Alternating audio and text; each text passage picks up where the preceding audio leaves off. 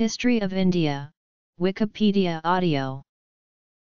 The history of India includes the prehistoric settlements and societies in the Indian subcontinent, the advancement of civilization from the Indus Valley civilization to the eventual blending of the Indo-Aryan culture to form the Vedic civilization, the rise of Hinduism, Jainism, and Buddhism, the onset of a succession of powerful dynasties and empires for more than three millennia throughout various geographic areas of the subcontinent, including the growth of Muslim dominions during the medieval period intertwined with Hindu powers, the advent of European traders and privateers, resulting in the establishment of British India, and the subsequent independence movement that led to the partition of India and the creation of the Republic of India. Considered a cradle of civilization, the Indus Valley Civilization, which spread and flourished in the northwestern part of the Indian subcontinent from 3300 to 1300 BCE, was the first major civilization in South Asia. A sophisticated and technologically advanced urban culture developed in the mature Harappan period, from 2600 to 1900 BCE. This civilization collapsed at the start of the second millennium BCE and was later followed by the Iron Age Vedic civilization. The era saw the composition of the Vedas, the seminal texts of Hinduism, coalesce into Janapadas, and social stratification based on caste. The later Vedic civilization extended over the Indo-Gangetic plain and much of the subcontinent, as well as witnessed the rise of major polities known as the Mahajanapadas. In one of these kingdoms, Magadha, Gautama Buddha, and Mahavira propagated their Shramanic philosophies during the 5th and 6th century BCE. Most of the Indian subcontinent was conquered by the Maurya Empire during the 4th and 3rd centuries BCE. From the 3rd century BCE onwards Prakrit and Pali literature in the north and the Tamil Sangam literature in southern India started to flourish. Wootz steel originated in South India in the 3rd century BCE and was exported to foreign countries. During the classical period, various parts of India were ruled by numerous dynasties for the next 1,500 years, among which the Gupta Empire stands out. This period, witnessing a Hindu religious and intellectual resurgence, is known as the Classical or Golden Age of India. During this period, aspects of Indian civilization, administration, culture, and religion spread to much of Asia, while kingdoms in southern India had maritime business links with the Middle East and the Mediterranean. Indian cultural influence spread over many parts of Southeast Asia which led to the establishment of Indianised kingdoms in Southeast Asia. Chronology of Indian history the most significant event between the 7th and 11th century was the tripartite struggle centered on Kanauj that lasted for more than two centuries between the Pala Empire, Rashtrakuta Empire, and Gurjara Pratihara Empire. Southern India saw the rise of multiple imperial powers from the middle of the 5th century, most notable being the Chalukya, Chola, Pallava, Chera, Pandyan, and Western Chalukya empires. The Chola dynasty conquered southern India and successfully invaded parts of Southeast Asia, Sri Lanka, Maldives, and Bengal in the 11th century. The early medieval period Indian mathematics influenced the development of mathematics and astronomy in the Arab world and the Hindu numerals were introduced. Muslim rule started in parts of North India in the 13th century when the Delhi Sultanate was founded in 1206 CE by Central Asian Turks, though earlier Muslim conquests made limited inroads into modern Afghanistan and Pakistan as early as the 8th century. The Delhi Sultanate ruled the major part of northern India in the early 14th century, but declined in the late 14th century. This period also saw the emergence of several powerful Hindu states, notably Vijayanagara, Gajapati, Ahom, as well as Rajput states, such as Mewar. The 15th century saw the advent of Sikhism. The early modern period began in the 16th century, when the Mughals conquered most of the Indian subcontinent. The Mughals suffered a gradual decline in the early 18th century, which provided opportunities for the Marathas, Sikhs, and Mysoreans to exercise control over large areas of the subcontinent. Smart calls the period between 1000 BCE and 100 CE pre-classical. It's the formative period for the Upanishads and Brahmanism, Jainism, and Buddhism. For Smart, the classical period lasts from 100 to 1000 CE, and coincides with the flowering of classical Hinduism and the flowering and deterioration of Mahayana Buddhism in India. For Michaels, the period between 500 BCE and 200 BCE is a time of ascetic reformism, whereas the period between 200 BCE and 1100 CE is the time of classical Hinduism, since there is a turning point between the Vedic religion and Hindu religions. Muesse discerns a longer period of change, namely between 800 BCE and 200 BCE, which he calls the classical period. According to Muesse, some of the fundamental concepts of Hinduism, namely karma, reincarnation, and personal enlightenment and transformation, which did not exist in the Vedic religion, developed in this time. From the late 18th century to the mid-19th century, large areas of India were annexed by the British East India Company of the British Empire. Dissatisfaction with company rule led to the Indian Rebellion of 1857, after which the British provinces of India were directly administered by the British Crown and witnessed a period of rapid development of infrastructure, economic decline, and major famines. During the first half of the 20th century, a nationwide struggle for independence was launched with the leading party involved being the Indian National Congress which was later joined by other organizations. The subcontinent gained independence from the United Kingdom in 1947, after the British provinces were partitioned into the dominions of India and Pakistan and the princely states all acceded to one of the new states. Notes different periods are designated as Classical Hinduism. Sources James Mill, in his The History of British India, distinguished three phases in the history of India, namely Hindu, Muslim, and British civilizations. This periodization has been influential, but has also been criticized for the misconceptions it gave rise to. Another influential periodization is the division into ancient, classical, medieval, and modern periods, although this periodization has also been criticized.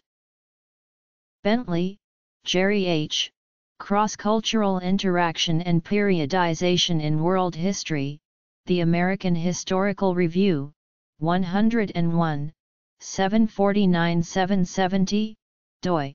10.2307-21694222, JSTOR 21694222, Flood, Gavin D., An Introduction to Hinduism, Cambridge University Press, Khanna, Meenakshi, Cultural History of Medieval India, Berghahn Books, Kulke, Herman, Rothermund, Dietmar, A History of India, Routledge.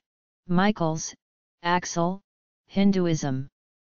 Past and Present, Princeton, New Jersey, Princeton University Press, Misra, Amalendu, Identity and Religion, Foundations of Anti-Islamism in India, Sage, Muesse, Mark William, Great World Religions, Hinduism, Muesse, Mark W., The Hindu Traditions, a Concise Introduction, Fortress Press, Smart, Ninian, Godsdiensten van de Wereld, Kampen, Uitgeverij Kok, Thapar, Romila, A History of India.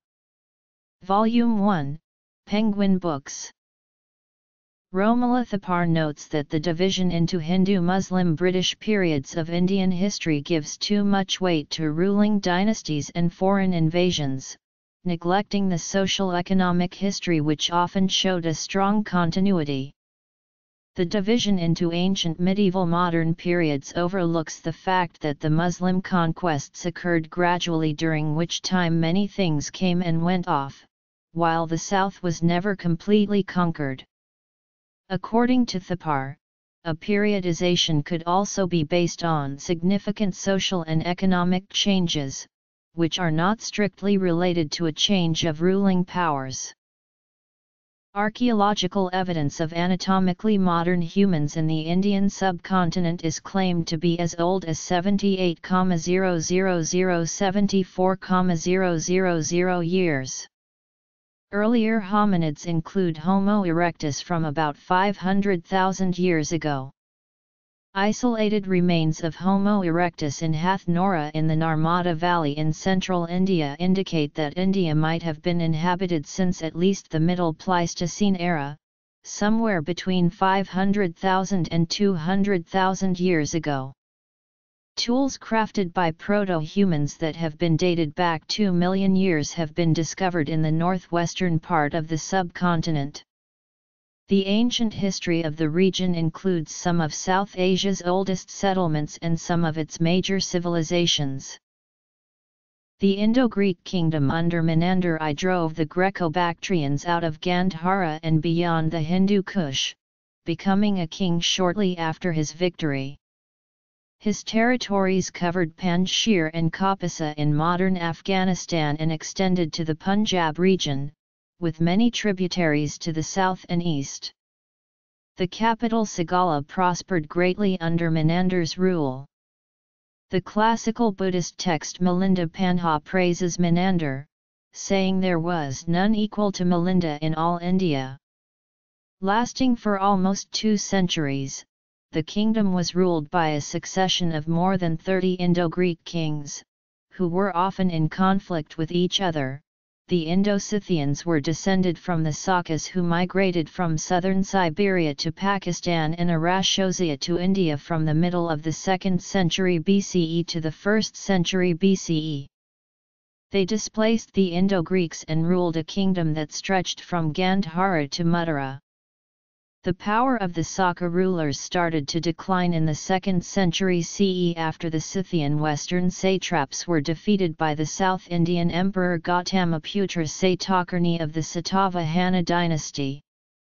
Later the Saka kingdom was completely destroyed by Chandragupta II of the Gupta Empire from eastern India in the 4th century.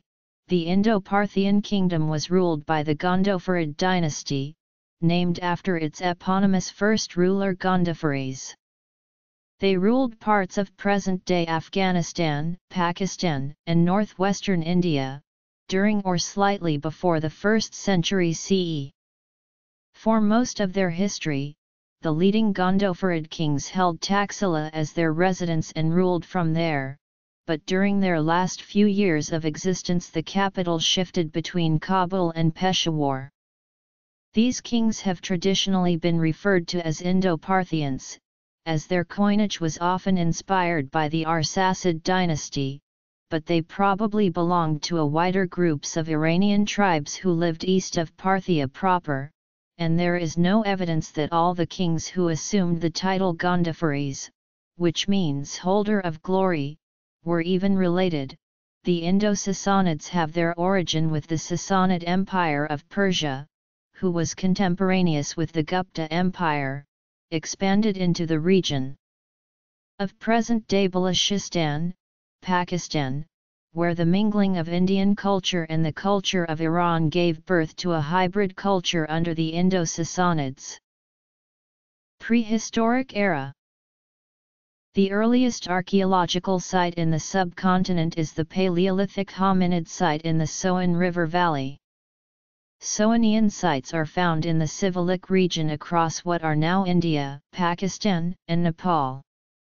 The Mesolithic period in the Indian subcontinent was followed by the Neolithic period, when more extensive settlement of the subcontinent occurred after the end of the last ice age approximately 12,000 years ago.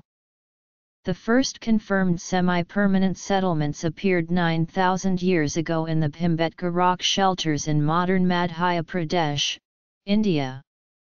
The Edakkal caves are pictorial writings believed to date to at least 6000 BCE, from the Neolithic man, indicating the presence of a prehistoric civilization or settlement in Kerala. The Stone Age carvings of Edakkal are rare and are the only known examples from South India. Traces of a Neolithic culture have been alleged to be submerged in the Gulf of Khambhat in India, radiocarbon dated to 7500 BCE. Neolithic agricultural cultures sprang up in the Indus Valley region around 5000 BCE, in the lower Gangetic Valley around 3000 BCE, represented by the Bhirrana findings in Haryana, India, Lahuradewa findings in Uttar Pradesh, India, and Mehrgarh findings in Balochistan, Pakistan, and later in southern India, spreading southwards and also northwards into Malwa around 1800 BCE. The first urban civilization of the region began with the Indus Valley Civilization. Priest King of Indus Valley Civilization, the statue is carved from steatite. Indus Valley seals with bull, elephant, and rhinoceros, 2500-1900 BCE. The Pashupati seal, showing a seated and possibly tricephalic figure, surrounded by animals. Dholavira, one of the largest cities of Indus Valley civilization. The Bronze Age in the Indian subcontinent began around 3300 BCE with the early Indus Valley Civilization. It was centered on the Indus River and its tributaries which extended into the Ghaggar-Hakra River Valley, the Ganges Yamuna Doab, Gujarat, and southeastern Afghanistan. The Indus civilization is one of three in the ancient East that, along with Mesopotamia and Pharaonic Egypt, was a cradle of civilization in the Old World. It is also the most expansive in area and population.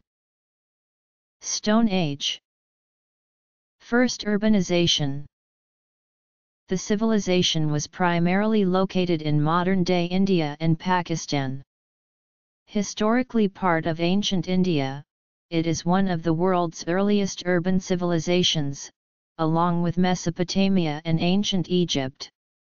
Inhabitants of the ancient Indus River Valley, the Harappans, developed new techniques in metallurgy and handicraft, and produced copper, bronze, lead, and tin. The Bhakti movement regionally developed around different gods and goddesses, such as Vaishnavism, Shaivism, Shaktism, and Smartism. The movement was inspired by many poet-saints, who championed a wide range of philosophical positions ranging from theistic dualism of Dvaita to absolute monism of Advaita Vedanta. Sikhism is based on the spiritual teachings of Guru Nanak, the first Guru, and the ten successive Sikh Gurus. After the death of the tenth Guru, Guru Gobind Singh, the Sikh scripture, Guru Granth Sahib, became the literal embodiment of the eternal, impersonal Guru, where the scripture's word serves as the spiritual guide for Sikhs. Indus Valley Civilization. Dravidian origins. Vedic period. Vedic society. Sanskritization the mature Indus civilization flourished from about 2600 to 1900 BCE, marking the beginning of urban civilization on the subcontinent. The civilization included urban centers such as Dholavira, Kalibangan, Ropar, Rakhigarhi, and Lothal in modern-day India, as well as Harappa, Ganeriwala, and Mohenjo-Daro in modern-day Pakistan. The civilization is noted for its cities built of brick, roadside drainage system, and multi-storied houses and is thought to have had some kind of municipal organization. Total of 1,022 cities and settlements had been found, mainly in the general region of the Indus and Ghaggar Hakra rivers, and their tributaries, of which 406 sites are in Pakistan and 616 sites in India, of these 96 have been excavated. During the late period of this civilization, signs of a gradual decline began to emerge, and by around 1700 BCE, most of the cities were abandoned. However, the Indus Valley civilization did not disappear suddenly, and some elements of the Indus civilization may have survived, especially in the smaller villages and isolated farms. According to historian Upinder Singh, the general picture presented by the late Harappan phase is one of a breakdown of urban networks and an expansion of rural ones.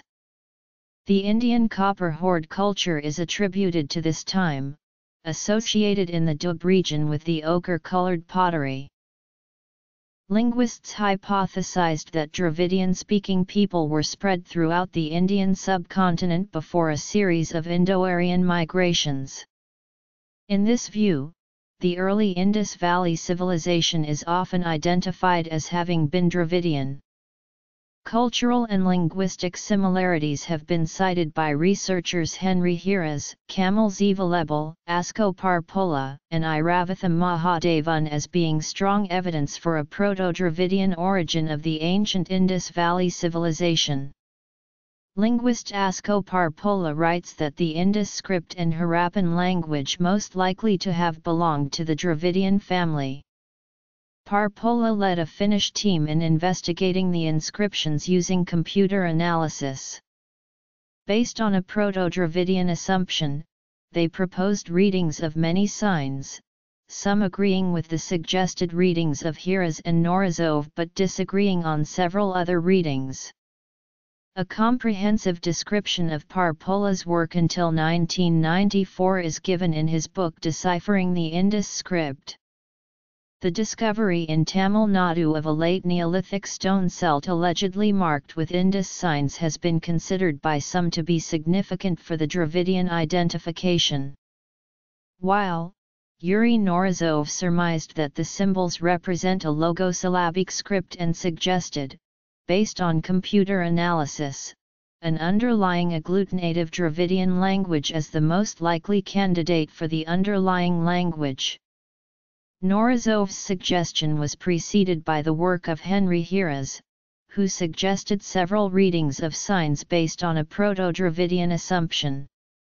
While some scholars like J. Bloch and M. Witzel believe that the Indo-Aryans moved into an already Dravidian-speaking area after the oldest parts of the Rig Veda were already composed.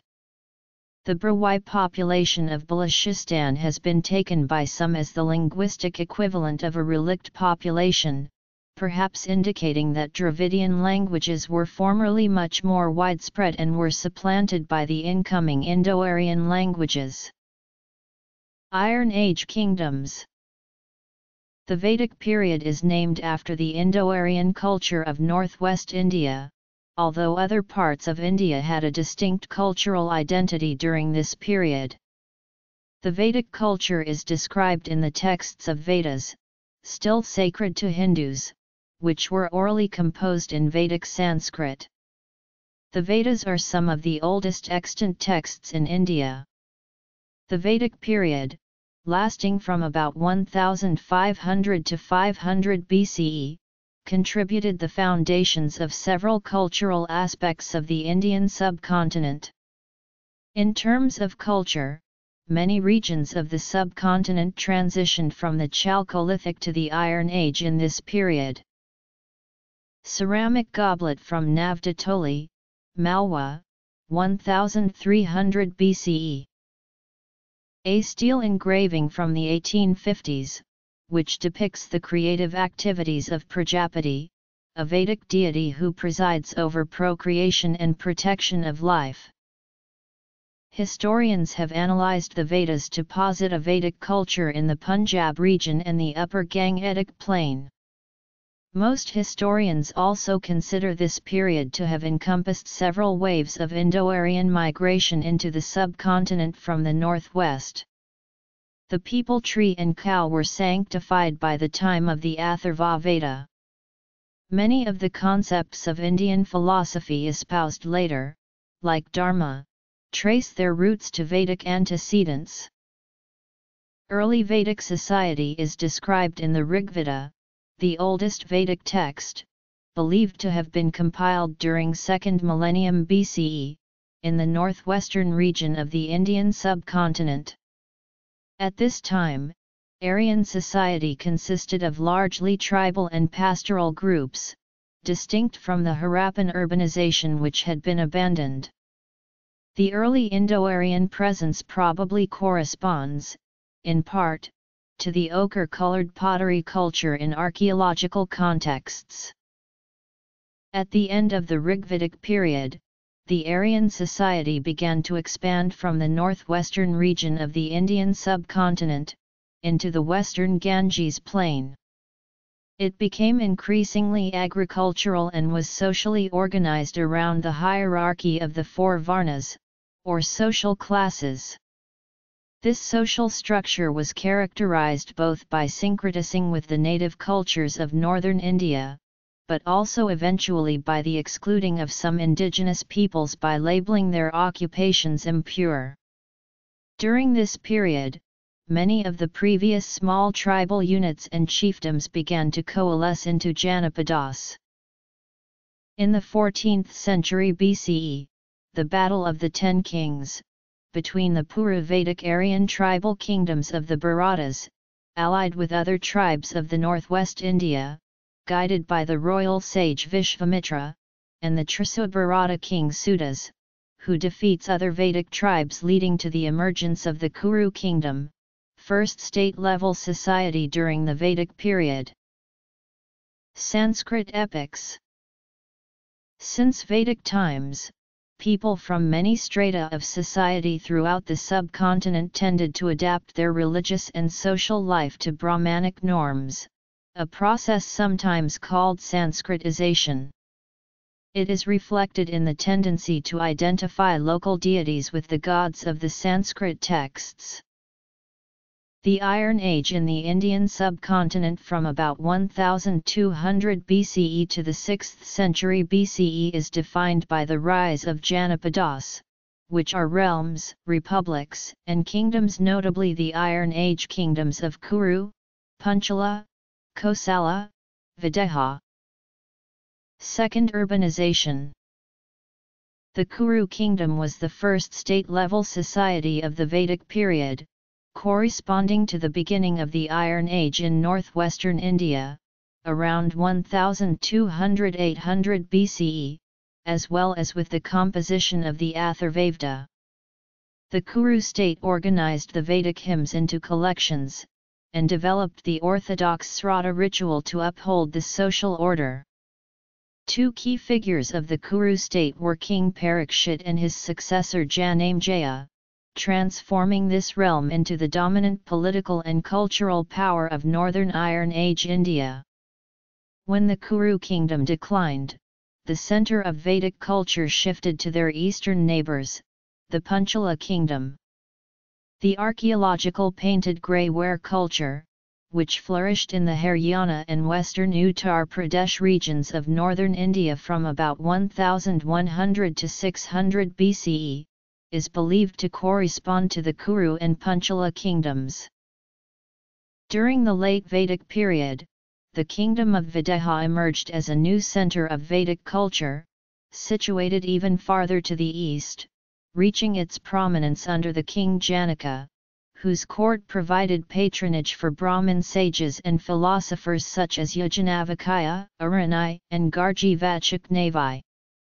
The later part of this period corresponds with a consolidation of increasingly large states and kingdoms, called Mahajanapadas, all across northern India.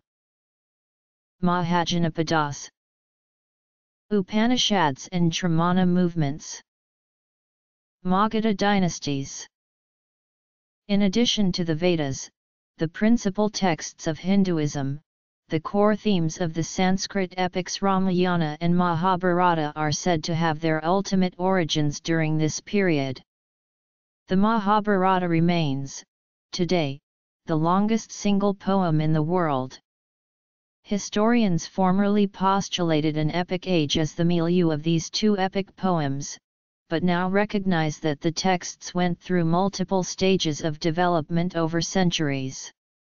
For instance, the Mahabharata may have been based on a small-scale conflict which was eventually transformed into a gigantic epic war by bards and poets.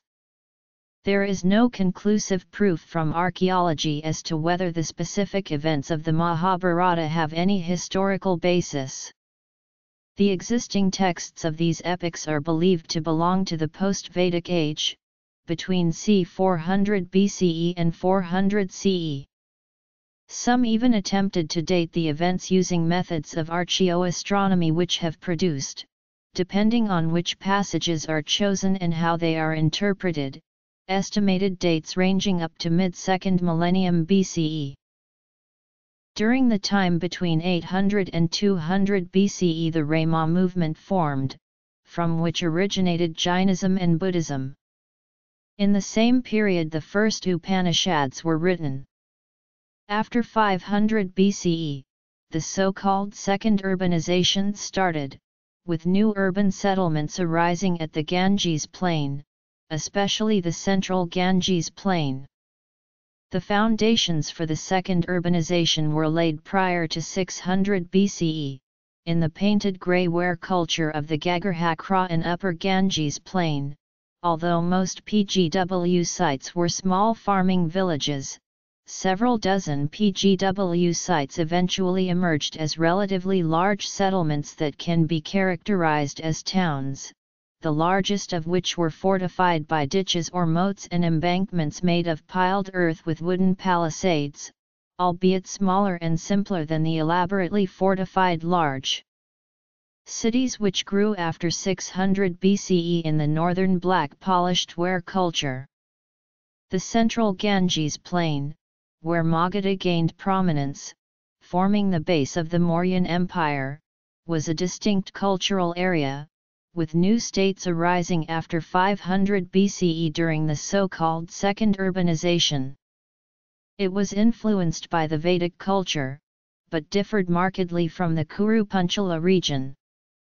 It was the area of the earliest known cultivation of rice in South Asia and by 1800 BCE was the location of an advanced Neolithic population associated with the sites of Chirand and Chechar.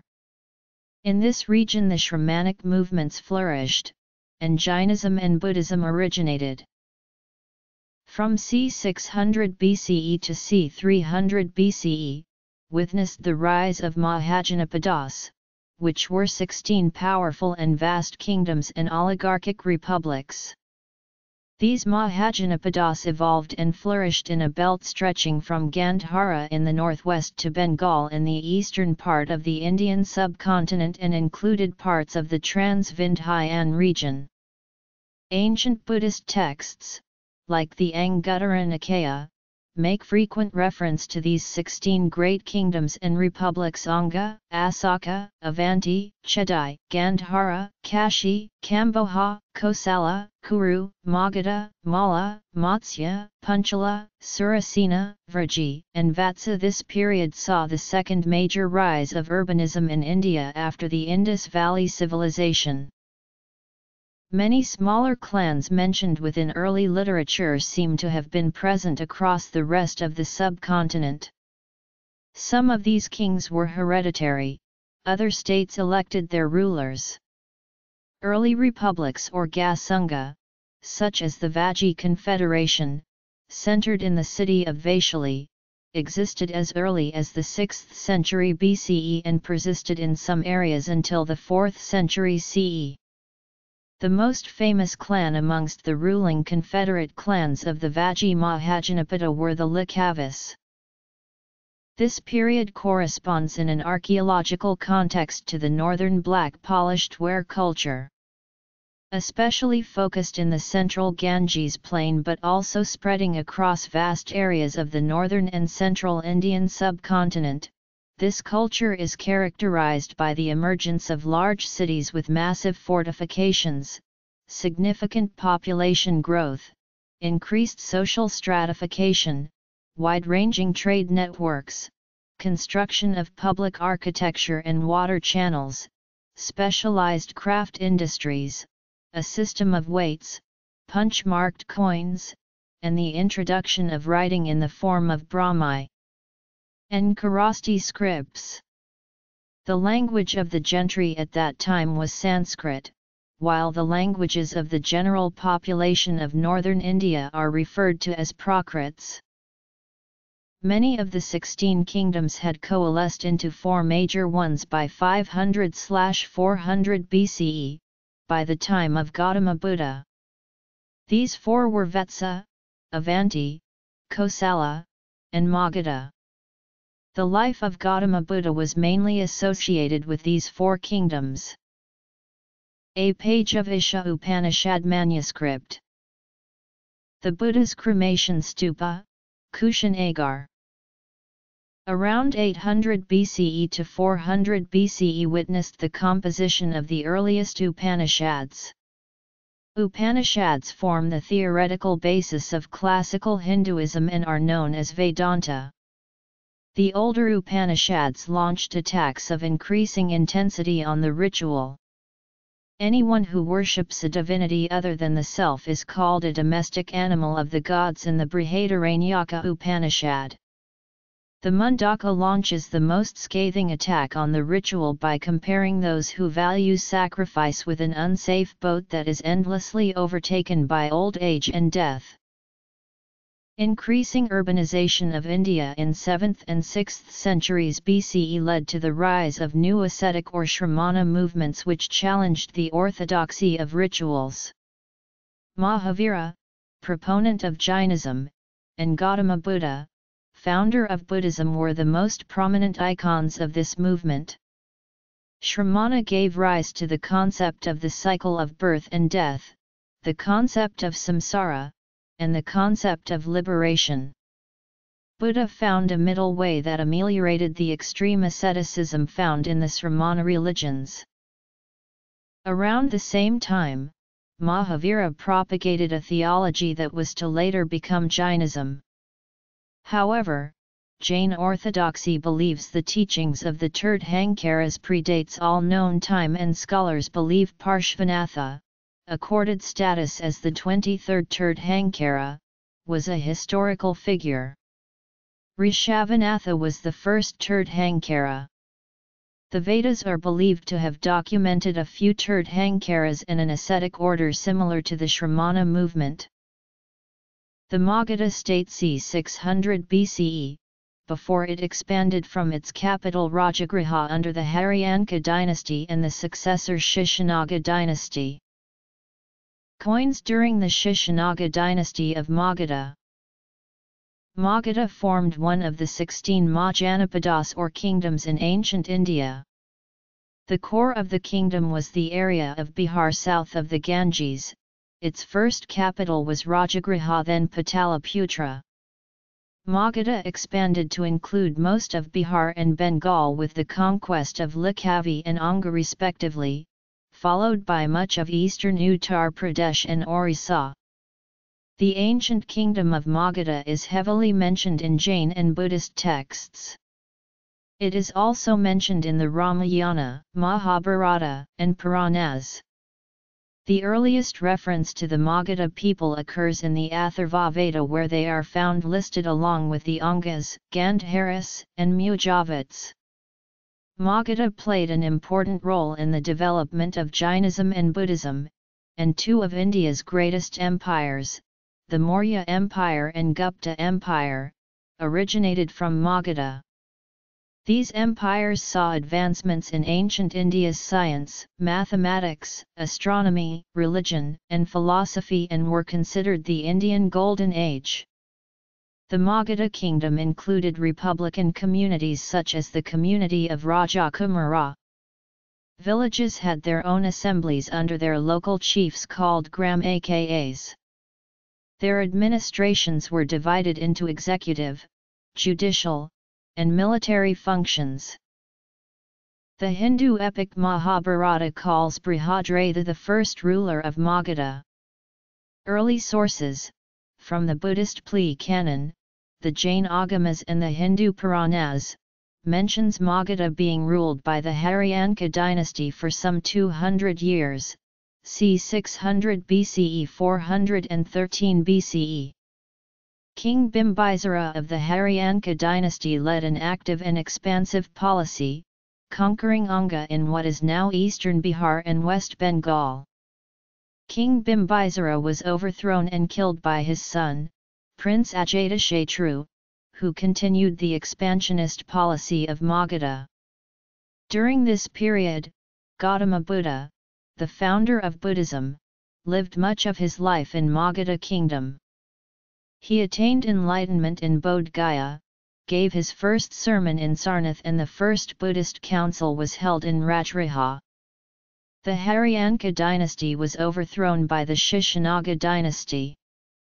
The last Shishunaga ruler, Kalasoka, was assassinated by Mahapadmananda in 345 BCE, the first of the so-called nine Nandas, Mahapadma, and his eight sons.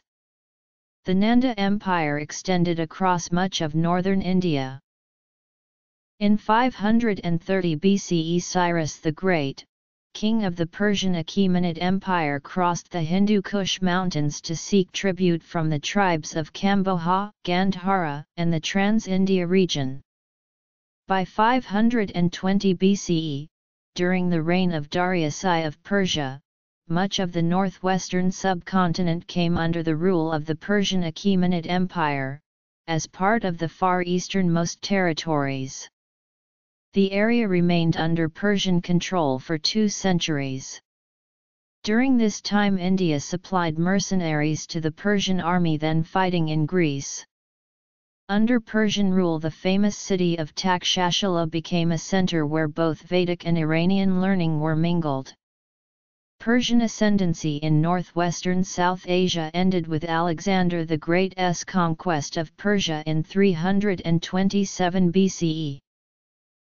By 326 BCE, Alexander the Great had conquered Asia Minor and the Achaemenid Empire and had reached the northwest frontiers of the Indian subcontinent. There he defeated King Porus in the Battle of the Hydaspes and conquered much of the Punjab. Alexander's march east put him in confrontation with the Nanda Empire of Magadha and the Gangaridae of Bengal.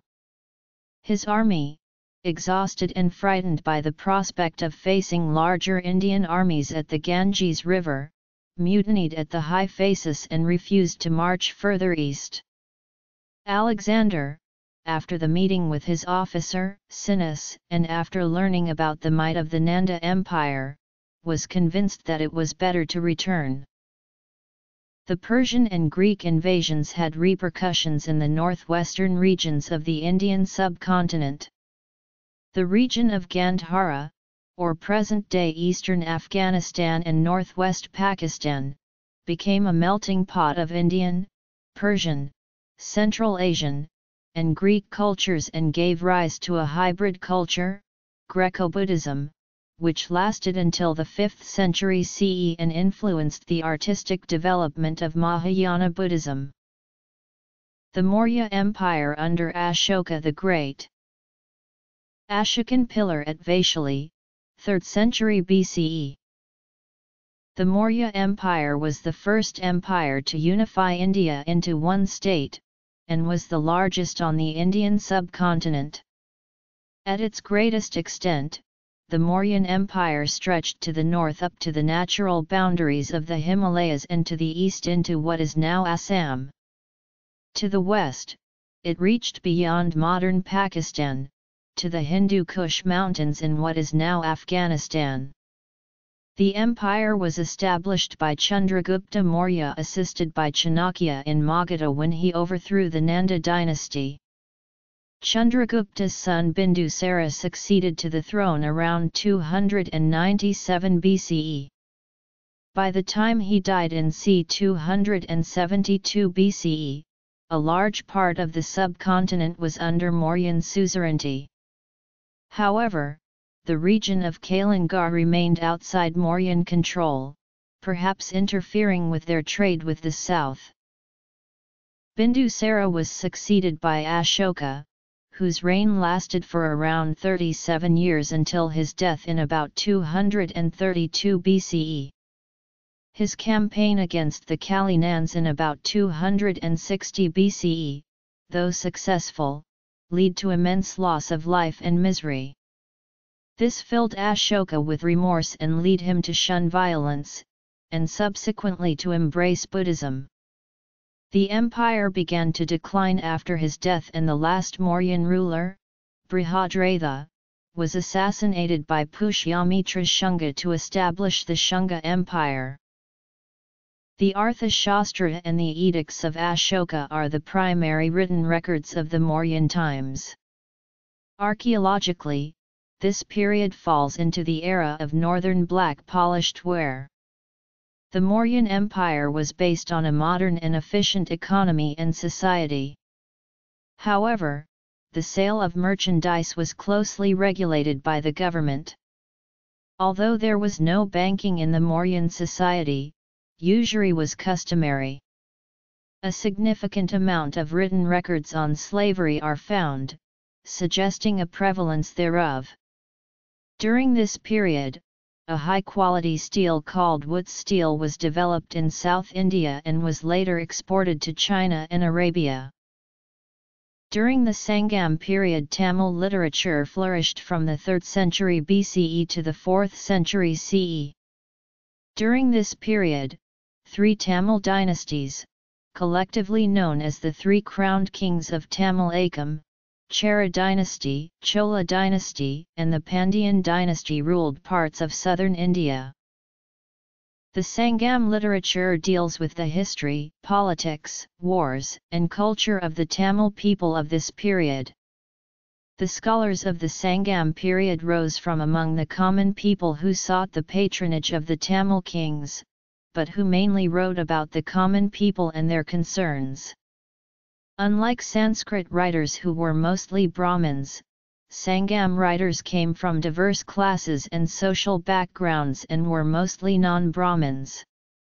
They belonged to different faiths and professions like farmers, artisans, merchants, monks, priests, and even princes and quite few of them were even women. The time between the Maurya Empire in the 3rd century BCE and the end of the Gupta Empire in the 6th century CE is referred to as the classical period of India. It can be divided in various sub-periods, depending on the chosen periodization. Classical period begins after the decline of the Maurya Empire, and the corresponding rise of the Satavahana dynasty, beginning with Simuka, from 230 BCE. The Gupta Empire is regarded as the golden age of Hinduism, although a host of kingdoms ruled over India in these centuries. Also, the Sangam literature flourished from the 3rd century BCE to the 3rd century CE in southern India. During this period, India's economy is estimated to have been the largest in the world, having between one-third and one-quarter of the world's wealth, from 1 CE to 1000 CE.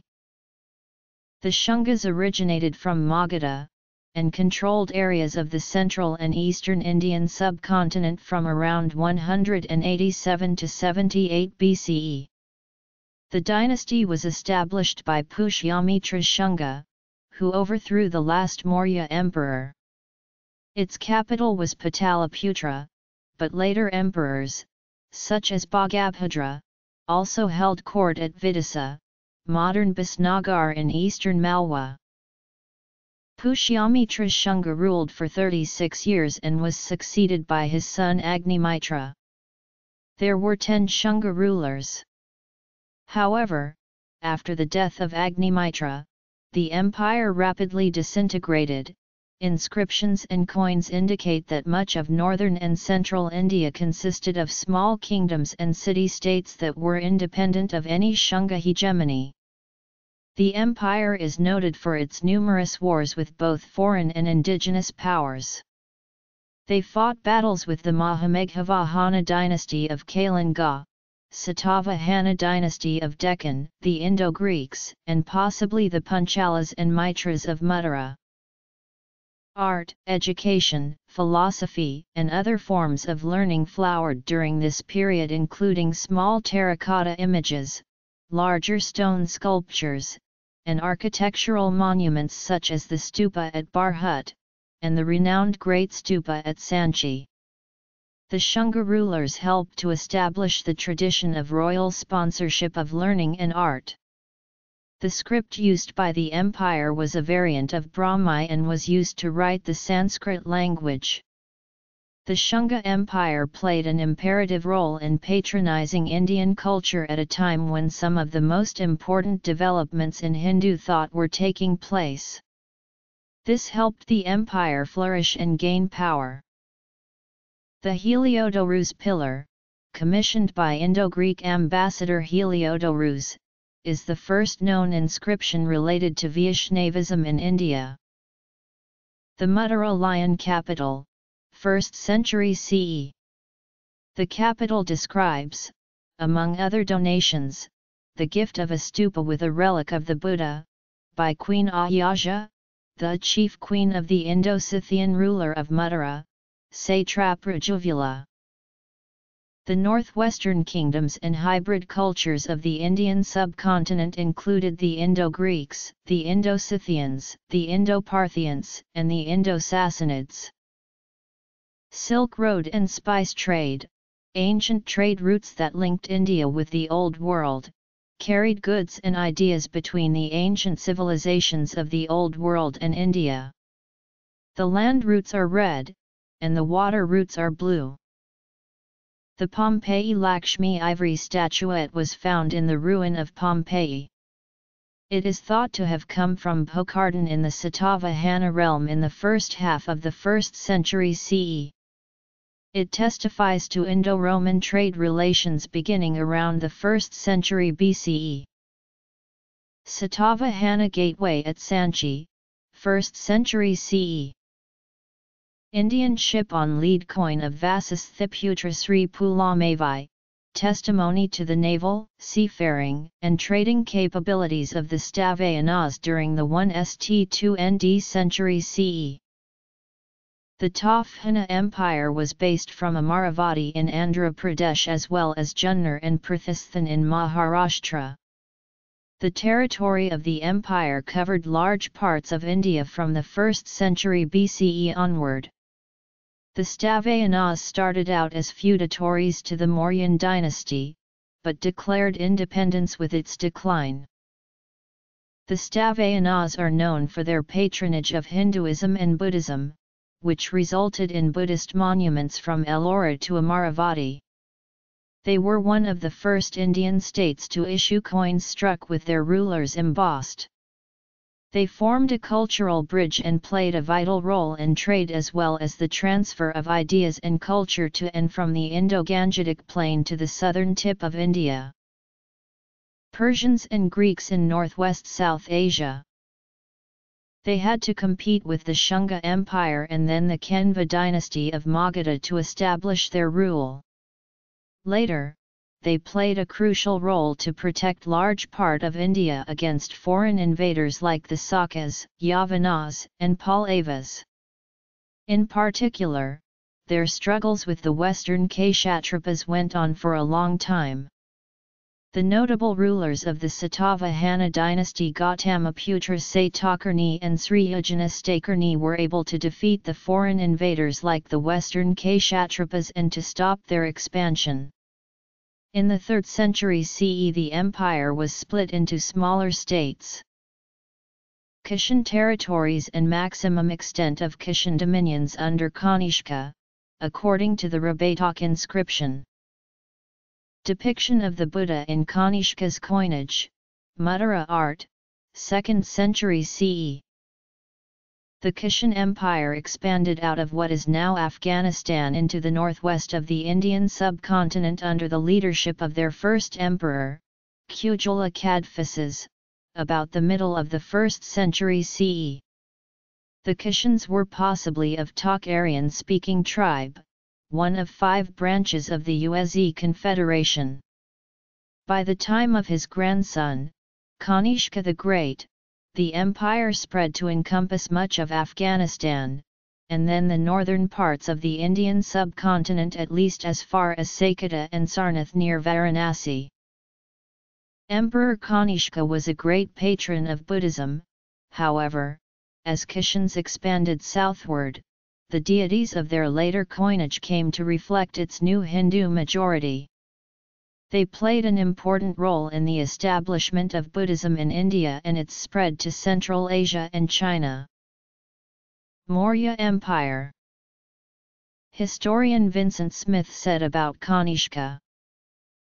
He played the part of a second Ashoka in the history of Buddhism. Sangam period The empire linked the Indian Ocean maritime trade with the commerce of the Silk Road through the Indus Valley, encouraging long-distance trade, particularly between China and Rome. The Kushans brought new trends to the budding and blossoming Gandhara art and Mathura art, which reached its peak during Kushan rule. H.G. Rawlinson commented Classical to early medieval periods Early Classical period the Kushan period is a fitting prelude to the age of the Guptas. By the 3rd century, their empire in India was disintegrating and their last known great emperor was Vasudeva I. Gupta Empire expansion from 320 CE to 550 CE. Shunga Empire. Northwestern kingdoms and hybrid cultures. Trade and travels to India. Satavahana Empire. Kushan Empire. Classical period. Gupta Empire Golden Age. Vakataka Dynasty. Kamarupa Kingdom. Pallava Dynasty Kadamba Dynasty Alkhan Huns Empire of Harsha Early Medieval Period Chalukya Empire Rashtrakuta Empire The current structure of the Mahabodhi temple dates to the Gupta era, 5th century CE. Marking the location where the Buddha is said to have attained enlightenment. Classical India refers to the period when much of the Indian subcontinent was united under the Gupta Empire. This period has been called the Golden Age of India, and was marked by extensive achievements in science, technology, engineering, art, dialectic, literature, logic, mathematics, astronomy, religion, and philosophy that crystallized the elements of what is generally known as Hindu culture. The Hindu Arabic numerals, a positional numeral system, originated in India and was later transmitted to the West through the Arabs. Early Hindu numerals had only nine symbols, until 600 to 800 CE, when a symbol for zero was developed for the numeral system. The peace and prosperity created under leadership of Guptas enabled the pursuit of scientific and artistic endeavors in India. The high points of this cultural creativity are magnificent architecture, sculpture, and painting. The Gupta period produced scholars such as Kalidasa, Aryabhata, Varahamihira, Vishnu Sharma, and Vatsyayana who made great advancements in many academic fields. The Gupta period marked a watershed of Indian culture. The Guptas performed Vedic sacrifices to legitimize their rule, but they also patronized Buddhism, which continued to provide an alternative to Brahmanical orthodoxy. The military exploits of the first three rulers Chandragupta I, Samudragupta, and Chandragupta II brought much of India under their leadership. Science and political administration reached new heights during the Gupta era. Strong trade ties also made the region an important cultural center and established it as a base that would influence nearby kingdoms and regions in Burma, Sri Lanka, maritime Southeast Asia, and Indochina. The latter Guptas successfully resisted the northwestern kingdoms until the arrival of the Alkhan Huns, who established themselves in Afghanistan by the first half of the 5th century, with their capital at Bamiyan. However, much of the Deccan and southern India were largely unaffected by these events in the north. The Vakataka Empire originated from the Deccan in the mid-3rd century CE. Their state is believed to have extended from the southern edges of Malwa and Gujarat in the north to the Tungabhadra River in the south as well as from the Arabian Sea in the western to the edges of Chhattisgarh in the east. They were the most important successors of the Satavahanas in the Deccan and contemporaneous with the Guptas in northern India. The Vakatakas are noted for having been patrons of the arts, architecture, and literature. They led public works and their monuments are a visible legacy. The rock-cut Buddhist viharas and chaityas of Ajanta caves were built under the patronage of Vakataka Emperor, Harisena. Samudragupta's 4th century Allahabad pillar inscription mentions Kamarupa and Davaka as frontier kingdoms of the Gupta Empire. Davaka was later absorbed by Kamarupa, which grew into a large kingdom that spanned from Karatoya River to near present Sadiya and covered the entire Brahmaputra Valley, North Bengal, parts of Bangladesh and, at times Purnia and parts of West Bengal. Ruled by three dynasties Varmanas, Mlechha dynasty, and Kamarupa Palas, from their capitals in present-day Guwahati, Tezpur, and North Guwahati respectively. All three dynasties claimed their descent from Narakasura, an immigrant from Aryavarta. In the reign of the Varman king, Bhaskar Varman, the Chinese traveler Xuanzang visited the region and recorded his travels. Later, after weakening and disintegration, the Kamarupa tradition was somewhat extended till c. 1255 CE by the Lunar I and Lunar II dynasties.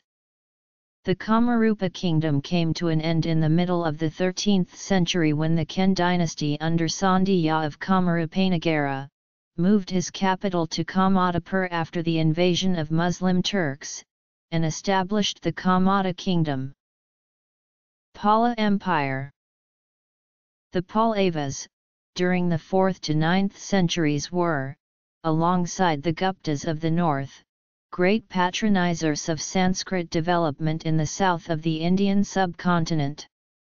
The Pallava saw the first Sanskrit inscriptions in a script called Grantha.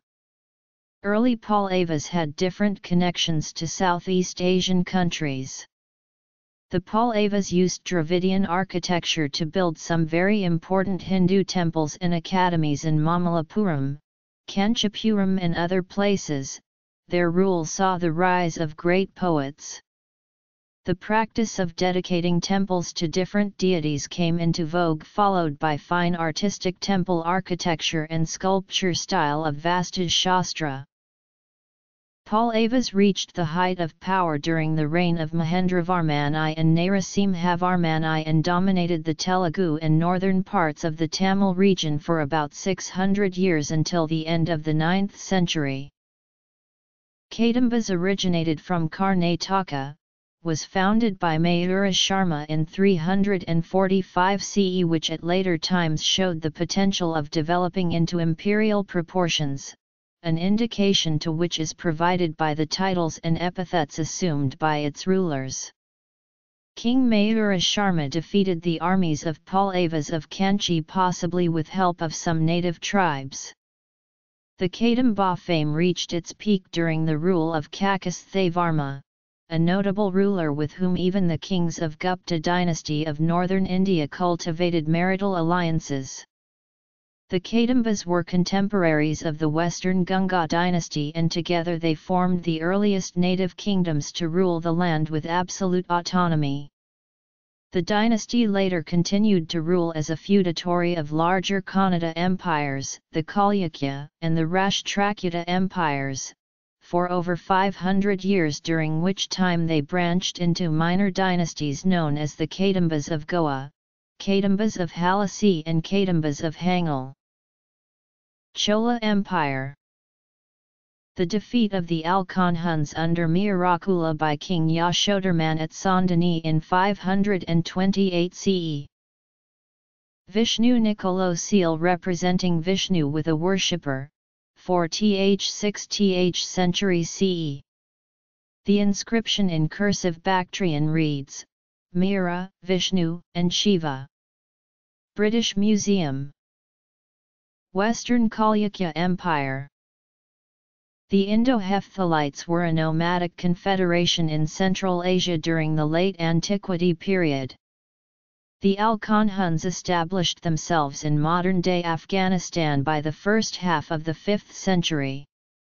Led by the Hun military leader Toramana, they overran northern regions of the Indian subcontinent. Toramana's son Mihirakula, a Saivite Hindu, moved up to near Pataliputra to the east and Gwalior to central India. Hian Tsiang narrates Mihirakula's merciless persecution of Buddhists and destruction of monasteries, though the description is disputed as far as the authenticity is concerned. The Huns were defeated by alliance of Indian rulers, Maharaja Yasodharman of Malwa and Gupta Emperor Narasimhagupta in the 6th century. Some of them were driven out of India and others were assimilated in the Indian society. Harsha ruled northern India from 606 to 647 CE. He was the son of Prabhakarvardhana and the younger brother of Rajyavardhana, who were members of the Pushyabhuti dynasty and ruled Thanesar, in present-day Haryana. Early Islamic intrusions into the Indian subcontinent After the downfall of the prior Gupta Empire in the middle of the 6th century, North India reverted to smaller republics and monarchical states.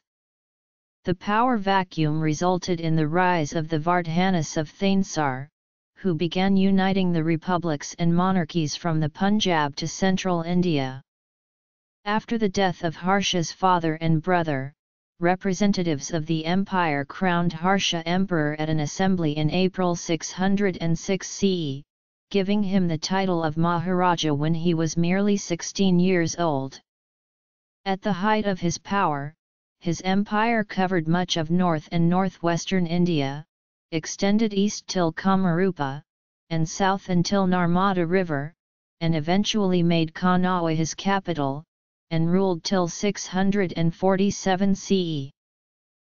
The peace and prosperity that prevailed made his court a center of cosmopolitanism, attracting scholars, artists, and religious visitors from far and wide. During this time, Harsha converted to Buddhism from Surya worship. The Chinese traveler Xuanzang visited the court of Harsha and wrote a very favorable account of him, praising his justice and generosity. His biography Harshacharita written by Sanskrit poet Banabhatta, describes his association with Thanesar, besides mentioning the defence wall, a moat, and the palace with a two-storied Dhavalagriha. Early medieval India began after the end of the Gupta Empire in the 6th century CE. This period also covers the late classical age of Hinduism, which began after the end of the Gupta Empire, and the collapse of the Empire of Harsha in the 7th century CE, the beginning of imperial Kanauj, leading to the tripartite struggle, and ended in the 13th century with the rise of the Delhi Sultanate in northern India and the end of the later Cholas with the death of Rajendra Chola III in 1279 in southern India. however some aspects of the classical period continued until the fall of the Vijayanagara Empire in the south around the 17th century. From the 5th century to the 13th, Srauta sacrifices declined, and initiatory traditions of Buddhism, Jainism, or more commonly Shaivism, Vaishnavism and Shaktism expanded in royal courts. This period produced some of India's finest art, considered the epitome of classical development, and the development of the main spiritual and philosophical systems which continued to be in Hinduism, Buddhism, and Jainism. Hindu Shahi Northwestern Indian Buddhism weakened in the 6th century after the Alkhan Huns invasion, who followed their own religions at the beginning such as Tengri, but later Indian religions. Muhammad bin Qasim's invasion of Sind in 711 CE witnessed further decline of Buddhism. The Chachnama records many instances of conversion of stupas to mosques such as at Narun. In the 7th century CE, Kumarila Bhai formulated his school of Mimamsa philosophy and defended the position on Vedic rituals against Buddhist attacks. Scholars note Bhai's contribution to the decline of Buddhism in India. His dialectical success against the Buddhists is confirmed by Buddhist historian Tathagata, who reports that Kumarila defeated disciples of Buddhapalita, Bhavya, Dharmadasa, Dignaga, and others. Late Medieval Period In the 8th century, Adi Shankara travelled across the Indian subcontinent to propagate and spread the doctrine of Advaita Vedanta, which he consolidated, and is credited with unifying the main characteristics of the current thoughts in Hinduism. He was a critic of both Buddhism and Mimamsa school of Hinduism, and founded Mathas, in the four corners of the Indian subcontinent for the spread and development of Advaita Vedanta. Growth of Muslim population Ronald Inden writes that by the 8th century CE symbols of Hindu gods replaced the Buddha at the imperial center and pinnacle of the cosmopolitical system. The image or symbol of the Hindu god comes to be housed in a monumental temple and given increasingly elaborate imperial style puja worship. Although Buddhism did not disappear from India for several centuries after the 8th, royal proclivities for the cults of Vishnu and Shiva weakened Buddhism's position within the socio-political context and helped make possible its decline. Rajput resistance to Muslim conquests Emperor Harsha of Kanauj succeeded in reuniting northern India during his reign in the 7th century, after the collapse of the Gupta dynasty. His empire collapsed after his death. From the 8th to the 10th century, three dynasties contested for control of northern India, the Gurjara Pratiharis of Malwa, the Palas of Bengal, and the Rashtrakutas of the Deccan. The Sena dynasty would later assume control of the Pala Empire, and the Gurjara Pratiharis fragmented into various states, notably the Paramaras of Malwa, the Chandelas of Bundelkhand, the Kalachuris of Mahakoshal, the Tomaras of Haryana, and the Chauhans of Rajputana. These were some of the earliest Rajput kingdoms. One Gurjar Rajput of the Chauhan clan, Prithvi Raj Chauhan, was known for bloody conflicts against the advancing Turkic sultanates. While Chandela Rajput dynasty is credited for the Khajuraho temple complex, famous for their Nagara-style architectural symbolism and their erotic sculptures. Delhi Sultanate. Bhakti movement and Sikhism. Vijayanagara Empire. Regional powers the Chola Empire emerged as a major power during the reign of Raja Raja Chola I and Rajendra Chola I who successfully invaded parts of Southeast Asia and Sri Lanka in the 11th century. Lalitaditya Muktapida was an emperor of the Kashmiri Karkota dynasty, which exercised influence in northwestern India from 625 CE until 1003, and was followed by Lohara dynasty. Kalhana in his Rajatarangini credits King Lalitaditya with leading an aggressive military campaign in northern India and Central Asia. Early modern period the Hindu Shahi dynasty ruled portions of eastern Afghanistan, northern Pakistan, and Kashmir from the mid-7th century to the early 11th century. While in Odisha, the eastern Ganga Empire rose to power, noted for the advancement of Hindu architecture, most notable being Jagannath Temple and Konark Sun Temple, as well as being patrons of art and literature. Mughal Empire Maratha Empire Sikh Empire Other kingdoms European exploration and colonialism Western explorers and traders Expansion of the British East India Company rule in India Indian indenture system Modern period and independence the Chalukya Empire ruled large parts of southern and central India between the 6th and the 12th centuries. During this period, they ruled as three related yet individual dynasties. The earliest dynasty, known as the Badami Chalukyas, ruled from Vatapi from the middle of the 6th century. The Badami Chalukyas began to assert their independence at the decline of the Kadamba kingdom of Banavasi and rapidly rose to prominence during the reign of Pulakeshin II. The rule of the Chalukyas marks an important milestone in the history of South India and a golden age in the history of Karnataka.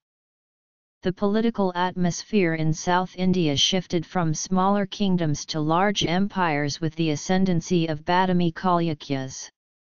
A southern India-based kingdom took control and consolidated the entire region between the Kaveri and the Narmada rivers.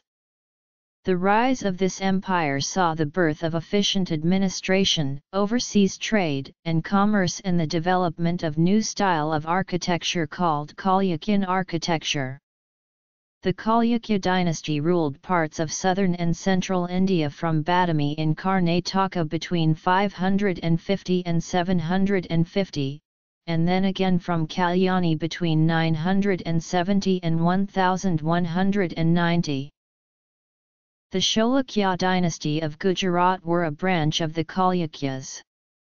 Their capital at Anhilwara was one of the largest cities in classical India, with the population estimated at 100,000 in 1000 CE. Founded by Dantadurga around 753, the Rashtrakuta Empire ruled from its capital at Manyakheta for almost two centuries. At its peak, the Rashtrakutas ruled from the Ganges River and Yamuna River Doab in the north to Cape Comorin in the south, a fruitful time of political expansion, architectural achievements, and famous literary contributions. The Rebellion of 1857 and its consequences. The early rulers of this dynasty were Hindu, but the later rulers were strongly influenced by Jainism.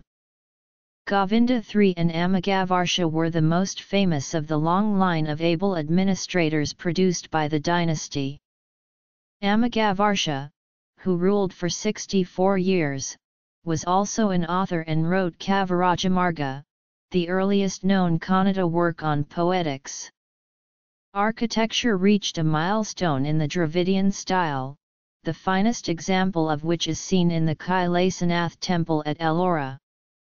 Other important contributions are the sculptures of Elephanta caves in modern Maharashtra as well as the Kashi Vishvanatha temple and the Jain Narayana temple at Pattadakal in modern Karnataka, all of which are UNESCO World Heritage Sites. The Arab traveller Sulayman described the Rashtrakuta Empire as one of the four great empires of the world. The Rashtrakuta period marked the beginning of the golden age of southern Indian mathematics. The great South Indian mathematician Mahavira lived in the Rashtrakuta Empire and his text had a huge impact on the medieval South Indian mathematicians who lived after him. The Rashtrakuta rulers also patronized men of letters, who wrote in a variety of languages from Sanskrit to the Apabhitras. British Raj The Pala Empire was founded by Gopala I. It was ruled by a Buddhist dynasty from Bengal in the eastern region of the Indian subcontinent. The Palas reunified Bengal after the fall of Shashanka's Gauda kingdom. The Palas were followers of the Mahayana and Tantric schools of Buddhism, they also patronized Shaivism and Vaishnavism. The morpheme Pala, meaning protector, was used as an ending for the names of all the Pala monarchs. The empire reached its peak under Dharmapala and Devapala. Dharmapala is believed to have conquered Kanauj and extended his sway up to the farthest limits of India in the northwest. The Pala Empire can be considered as the golden era of Bengal in many ways. Dharmapala founded the Vikramashila and revived Nalanda, considered one of the first great universities in recorded history. Nalanda reached its height under the patronage of the Pala Empire. The Palas also built many viharas. They maintained close cultural and commercial ties with countries of Southeast Asia and Tibet. Sea trade added greatly to the prosperity of the Pala Empire. The Arab merchant Sulayman notes the enormity of the Pala army in his memoirs. Hindu Renaissance Chola Empire under Rajendra Chola c. 1030 CE Brihadisvara temple entrance gopurams, Thanjavur. Medieval Cholas rose to prominence during the middle of the 9th century CE and established the greatest empire South India had seen. They successfully united the South India under their rule and through their naval strength extended their influence in the Southeast Asian countries such as Srivijaya. Under Rajaraja Chola I and his successors Rajendra Chola I, Rajadhiraja Chola, Virarajendra Chola and Kulathunga Chola I the dynasty became a military, economic, and cultural power in South Asia and Southeast Asia.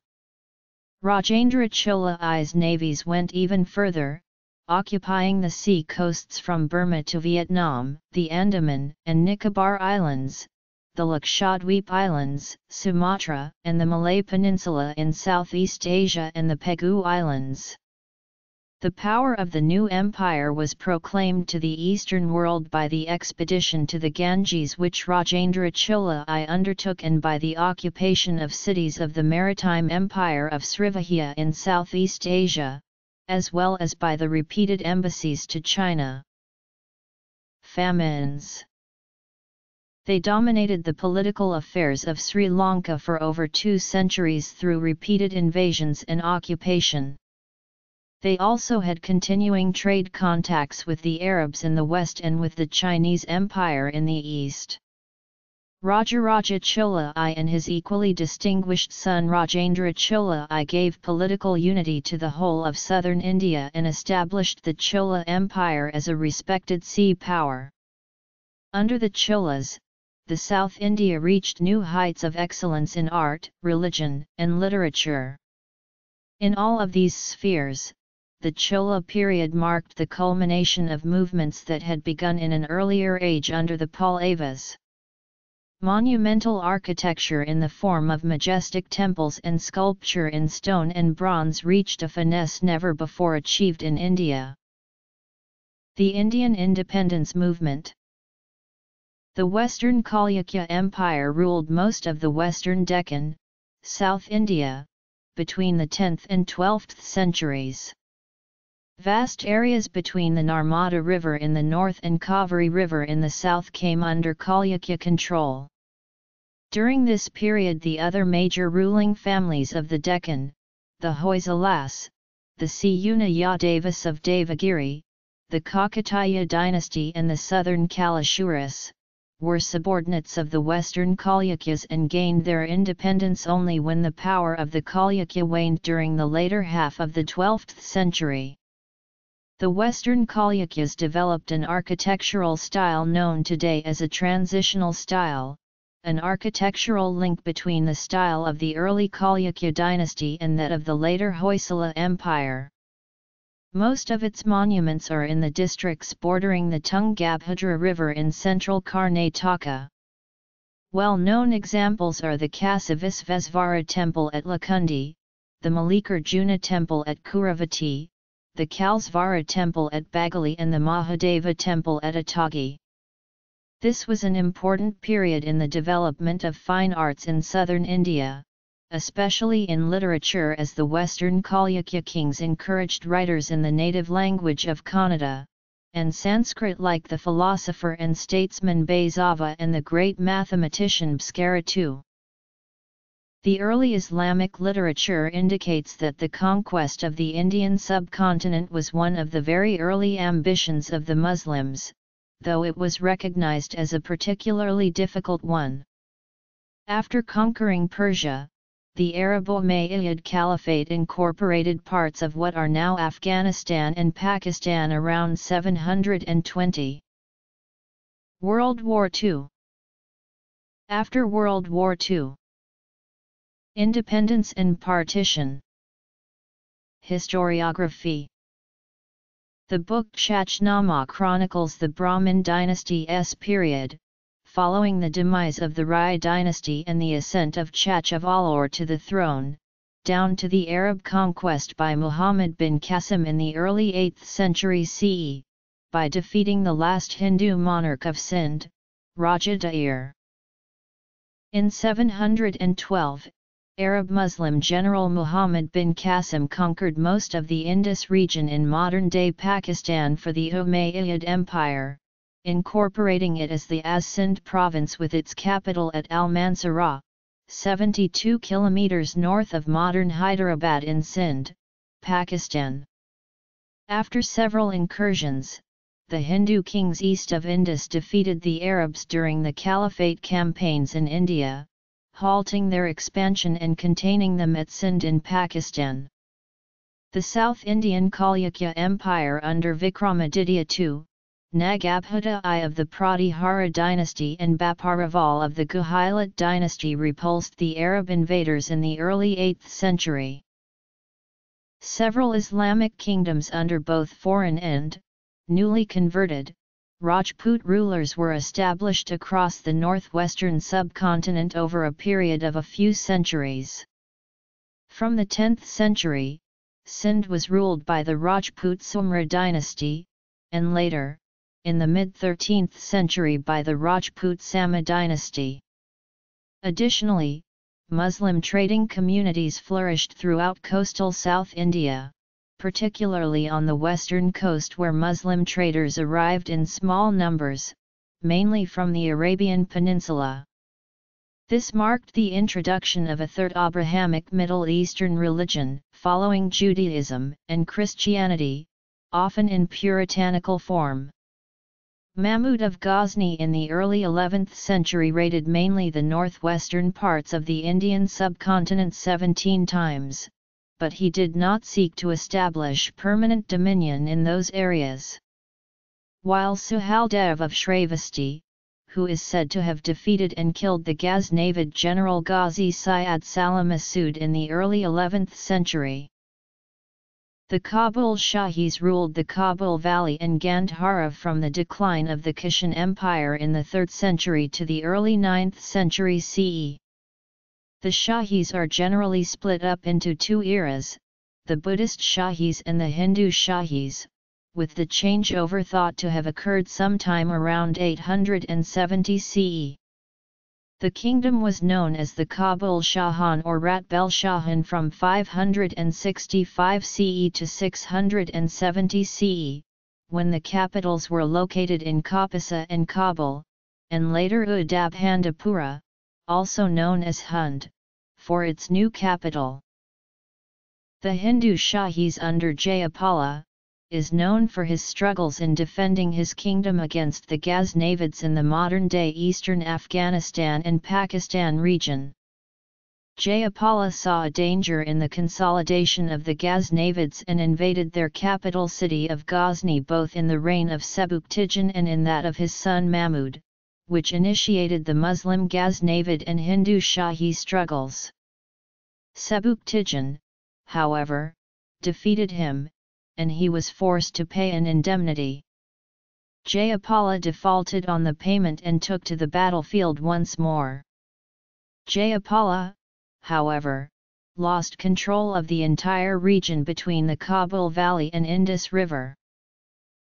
Before Jayapala's struggle began, he had raised a large army of Punjabi Hindus. When Jayapala went to the Punjab region, his army was raised to 100,000 horsemen and an innumerable host of foot soldiers. According to Farishta, the two armies having met on the confines of Lumgan, Sebuktigin ascended a hill to view the forces of Jayapala, which appeared in extent like the boundless ocean, and in number like the ants or the locusts of the wilderness. But Sebuktigin considered himself as a wolf about to attack a flock of sheep, calling, therefore, his chiefs together, he encouraged them to glory, and issued to each his commands. His soldiers, though few in number, were divided into squadrons of 500 men each, which were directed to attack successively, one particular point of the Hindu line, so that it might continually have to encounter fresh troops. However, the army was hopeless in battle against the western forces, particularly against the young Mahmud of Ghazni. In the year 1001, soon after Sultan Mahmud came to power and was occupied with the Karakhanids north of the Hindu Kush, Jayapala attacked Ghazni once more and upon suffering yet another defeat by the powerful Ghaznavid forces, near present-day Peshawar. After the Battle of Peshawar, he committed suicide because his subjects thought he had brought disaster and disgrace to the Shahis. Jayapala was succeeded by his son Anandapala, who along with other succeeding generations of the Shahis took part in various unsuccessful campaigns against the advancing Ghaznavids but were unsuccessful. The Hindu rulers eventually exiled themselves to the Kashmir Siwalik hills. The late medieval period is defined by the disruption to native Indian elites by Muslim Central Asian nomadic clans, leading to the Rajput resistance to Muslim conquests. The growth of Hindu and Muslim dynasties and empires, built upon new military technology and techniques. The rise of theistic devotional trend of the Bhakti movement and the advent of Sikhism. Like other settled, agrarian societies in history, those in the Indian subcontinent have been attacked by nomadic tribes throughout its long history. In evaluating the impact of Islam on the subcontinent, one must note that the northwestern subcontinent was a frequent target of tribes raiding from Central Asia. In that sense, the Muslim intrusions and later Muslim invasions were not dissimilar to those of the earlier invasions during the first millennium. What does however, make the Muslim intrusions and later Muslim invasions different is that unlike the preceding invaders who assimilated into the prevalent social system, the successful Muslim conquerors retained their Islamic identity and created new legal and administrative systems that challenged and usually in many cases superseded the existing systems of social conduct and ethics, even influencing the non-Muslim rivals and common masses to a large extent, though the non-Muslim population was left to their own laws and customs. They also introduced new cultural codes that in some ways were very different from the existing cultural codes. This led to the rise of a new Indian culture which was mixed in nature, though different from both the ancient Indian culture and later westernized modern Indian culture. At the same time it must be noted that overwhelming majority of Muslims in India are Indian natives converted to Islam. This factor also played an important role in the synthesis of cultures. The growth of Muslim dominion resulted in the destruction and desecration of politically important temples of enemy states, cases of forced conversions to Islam, payment of jizya tax, and loss of life for the non-Muslim population. Before the Muslim expeditions into the Indian subcontinent, much of North and West India was ruled by Rajput dynasties. The Rajputs and the South Indian Chalukya dynasty were successful in containing Arab Muslim expansion during the Caliphate campaigns in India, but later, Central Asian Muslim Turks were able to break through the Rajput defense into the northern Indian heartland. However, the Rajputs held out against the Muslim Turkic empires for several centuries. They earned a reputation of fighting battles obeying a code of chivalrous conduct rooted in a strong adherence to tradition and chi. The Rajput Chauhan dynasty established its control over Delhi and Ajmer in the 10th century. The most famous ruler of this dynasty was Prithviraj Chauhan. His reign marked one of the most significant moments in Indian history, his battles with Muslim Sultan, Muhammad Ghori. In the first battle of Tarain, Ghori was defeated with heavy losses. However, the Second Battle of Tarain saw the Rajput army eventually defeated, laying the foundation of Muslim rule in mainland India. The Mewar dynasty under Maharana Hamir defeated and captured Muhammad Tughlaq with the Bargujars as his main allies. Tughlaq had to pay a huge ransom and relinquish all of Mewar's lands. After this event, the Delhi Sultanate did not attack Chittorgarh for a few hundred years. The Rajputs re-established their independence, and Rajput states were established as far east as Bengal and north into the Punjab. The Tomaras established themselves at Gwalior, and Man Singh Tomar built the fortress which still stands there. During this period, Mewar emerged as the leading Rajput state, and Rana Kumbha expanded his kingdom at the expense of the sultanates of Malwa and Gujarat. The next great Rajput ruler, Rana Sanga of Mewar, became the principal player in northern India. His objectives grew in scope he planned to conquer the much sought-after prize of the Muslim rulers of the time, Delhi. But, his defeat in the Battle of Khanwa consolidated the new Mughal dynasty in India. However, Maharana Pratap of Mewar, a 16th-century Rajput ruler, firmly resisted the Mughals. Akbar sent many missions against him. He survived to ultimately gain control of all of Mewar, excluding the Chittor fort. The Chittorgarh fort is the largest in India, it is a symbol for Rajput resistance. Chittorgarh fort was sacked three times during the 15th and 16th centuries by Muslim armies. In 1303 Alauddin Khalji defeated Rana Ratan Singh, in 1535 Bahadur Shah, the Sultanate of Gujarat defeated Bikramjit Singh, and in 1567 Akbar defeated Maharana Uday Singh II, who left the fort and founded Udaipur. Each time the men fought bravely rushing out of the fort walls charging the enemy, but lost. Following these defeats, Jauhar was committed thrice by many of the wives and children of the Rajput soldiers who died in battles at Chittorgarh fort. The first time, this was led by Rani Padmini wife of Rana Ratan Singh who was killed in the battle in 1303, and later by Rani Karnavati in 1537. Delhi Sultanate reached its zenith under the Turco-Indian Tughlaq dynasty. Qutub Minar is the world's tallest brick minaret, commenced by Qutbuddin Aibak of the slave dynasty. The historian Dr. R.P. Tripathi noted. The history of Muslim sovereignty in India begins properly speaking with Iltutmish. The Delhi Sultanate was a Muslim sultanate based in Delhi, ruled by several dynasties of Turkic, Turco-Indian and Pathan origins. It ruled large parts of the Indian subcontinent from the 13th century to the early 16th century.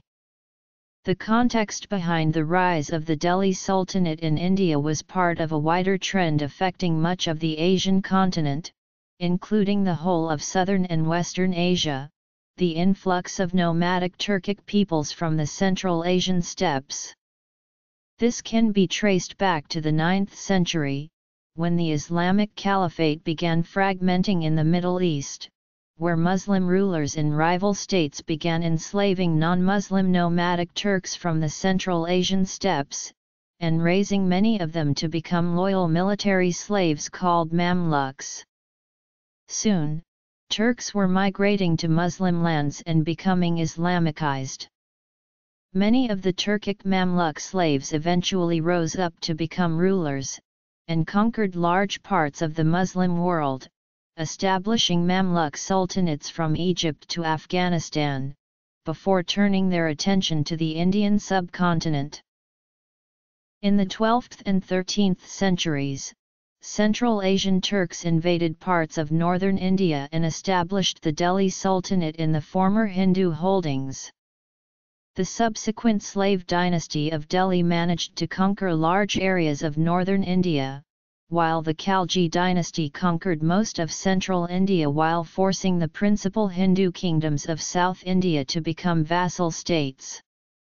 However, they were ultimately unsuccessful in conquering and uniting the subcontinent. The Sultanate ushered in a period of Indian cultural renaissance.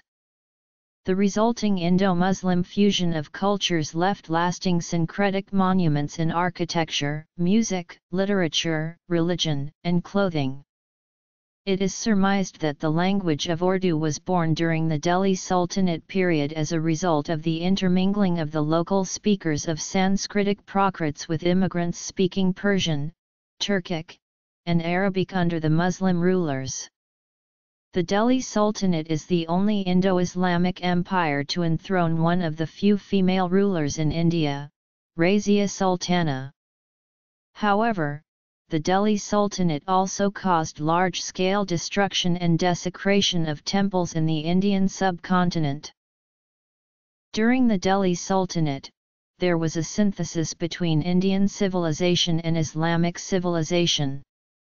The latter was a cosmopolitan civilization, with a multicultural and pluralistic society, and wide-ranging international networks, including social and economic networks, spanning large parts of Afro-Eurasia, leading to escalating circulation of goods, peoples, technologies, and ideas. While initially disruptive due to the passing of power from native Indian elites to Turkic Muslim elites, the Delhi Sultanate was responsible for integrating the Indian subcontinent into a growing world system, drawing India into a wider international network, which had a significant impact on Indian culture and society. In the 13th century, the Mongol Empire had invaded and conquered most of Asia and Eastern Europe. However, the Mongol invasions of India were successfully repelled by the Delhi Sultanate. A major factor in their success was their Turkic Mamluk slave army, who were highly skilled in the same style of nomadic cavalry warfare as the Mongols, as a result of having similar nomadic Central Asian roots. It is possible that the Mongol Empire may have expanded into India were it not for the Delhi Sultanate's role in repelling them. A Turco-Mongol conqueror in Central Asia, Timur, attacked the reigning Sultan Nasir-ud-Din Mahmud of the Tughlaq dynasty in the North Indian city of Delhi. The Sultan's army was defeated on December 17, 1398. Timur entered Delhi and the city was sacked, destroyed, and left in ruins after Timur's army had killed and plundered for three days and nights. He ordered the whole city to be sacked except for the Sayyids, scholars, and the other Muslims. 100,000 war prisoners were put to death in one day. The Sultanate suffered significantly from the sacking of Delhi revived briefly under the Lodi dynasty, but it was a shadow of the former. The Bhakti movement refers to the theistic devotional trend that emerged in medieval Hinduism and later revolutionized in Sikhism. It originated in the 7th century South India, and spread northwards. It swept over East and North India from the 15th century onwards, reaching its zenith between the 15th and 17th century CE. The Vijayanagara Empire was established in 1336 by Harihara I and his brother Bukka Raya I of Sangama dynasty. The empire is named after its capital city of Vijayanagara, whose ruins surround present-day Hampi, now a World Heritage Site in Karnataka, India. The empire's legacy includes many monuments spread over South India, the best known of which is the group at Hampi. The previous temple building traditions in South India came together in the Vijayanagara architecture style. The mingling of all faiths and vernaculars inspired architectural innovation of Hindu temple construction, first in the Deccan and later in the Dravidian idioms using the local granite. South Indian mathematics flourished under the protection of the Vijayanagara Empire in Kerala. The South Indian mathematician Madhava of Sangamagrama founded the famous Kerala School of Astronomy and Mathematics in the 14th century which produced a lot of great South Indian mathematicians like Parameshvara, Nilakantha Somayaji, and Jyeshtadeva in medieval South India. Efficient administration and vigorous overseas trade brought new technologies such as water management systems for irrigation. The empire's patronage enabled fine arts and literature to reach new heights in Kannada, Telugu, Tamil, and Sanskrit, while Carnatic music evolved into its current form. The Vijayanagara Empire created an epoch in South Indian history that transcended regionalism by promoting Hinduism as a unifying factor. The empire reached its peak during the rule of Sri Krishnadevaraya when Vijayanagara armies were consistently victorious.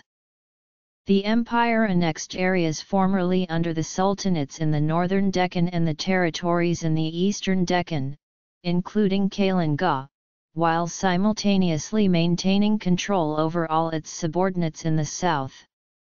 Many important monuments were either completed or commissioned during the time of Krishna Devaraya. Vijayanagara went into decline after the defeat in the Battle of Talikota. Sala fighting the lion, the emblem of Hoysala Empire. Hoysala administration and architecture would influence Vijayanagara Empire, their political heir. Rang Ghar, built by Pramatta Singha in Ahom Kingdom's capital Rangpur, is one of the earliest pavilion of outdoor stadia in the Indian subcontinent. For two and a half centuries from the mid-13th century, politics in northern India was dominated by the Delhi Sultanate, and in southern India by the Vijayanagar Empire, which originated as a political heir of the Hoysala Empire, Kakatiya Empire, and the Pandyan Empire. However, there were other regional powers present as well. The Reddy dynasty successfully defeated the Delhi Sultanate, and extended their rule from Cuttack in the north to Kanchi in the south, eventually being absorbed into the expanding Vijayanagara Empire. In the north, the Rajput kingdoms remained the dominant force in western and central India. Their power reached its zenith under Rana Sanga, during whose time Rajput armies were constantly victorious against the Sultanate armies. In the south, the Bahmani Sultanate was the chief rival of the Vijayanagara, and frequently created difficulties for the Vijayanagara. In the early 16th century Krishnadevaraya of the Vijayanagar Empire defeated the last remnant of Bahmani Sultanate power, after which the Bahmani Sultanate collapsed. It was established either by a Brahmin convert or patronized by a Brahmin and from that source it was given the name Bahmani. In the early 16th century, it collapsed and split into five small Deccan sultanates. In the east, the Gajapati kingdom remained a strong regional power to reckon with, associated with a high point in the growth of regional culture and architecture. Under Kapilendradeva, Gajapatis became an empire stretching from the lower Ganga in the north to the Kaveri in the south. In northeast India, the Ahom kingdom was a major power for six centuries, led by Lachit Borphukan. The Ahoms decisively defeated the Mughal army at the Battle of Saraighat during the Ahom-Mughal conflicts. Further east in northeastern India was the kingdom of Manipur, which ruled from their seat of power at Kangla Fort and developed a sophisticated Hindu Gaudiya Vaishnavite culture. The early modern period of Indian history is dated from 1526-1858 CE, corresponding to the rise and fall of the Mughal dynasty. This period witnessed the cultural synthesis of Hindu and Muslim elements reflected in Indo-Islamic architecture, the growth of Maratha and Sikh imperial powers over vast regions of the Indian subcontinent with the decline of the Mughals, and came to an end when the British Raj was founded. The Mughal Empire at its greatest extent, in the early 18th century. Taj Mahal is a mausoleum built by Mughal Emperor Shah Jahan to house the tomb of his favorite wife, Mumtaz Mahal. In 1526, Babur, a Timurid descendant of Timur and Genghis Khan from Fergana Valley, swept across the Khyber Pass and established the Mughal Empire, which at its zenith covered modern-day Afghanistan, Pakistan, India, and Bangladesh. However, his son Humayun was defeated by the Afghan warrior Sher Shah Suri in the year 1540, and Humayun was forced to retreat to Kabul. After Sher Shah's death, his son Islam Shah Suri and his Hindu general Hemu Vikramaditya had established secular rule in North India from Delhi till 1556. After winning Battle of Delhi, Akbar's forces defeated Hemu in the Second Battle of Panipat on November 6, 1556. The famous Emperor Akbar the Great, who was the grandson of Babar, tried to establish a good relationship with the Hindus. Akbar declared Amari or non-killing of animals in the holy days of Jainism. He rolled back the jizya tax for non-Muslims.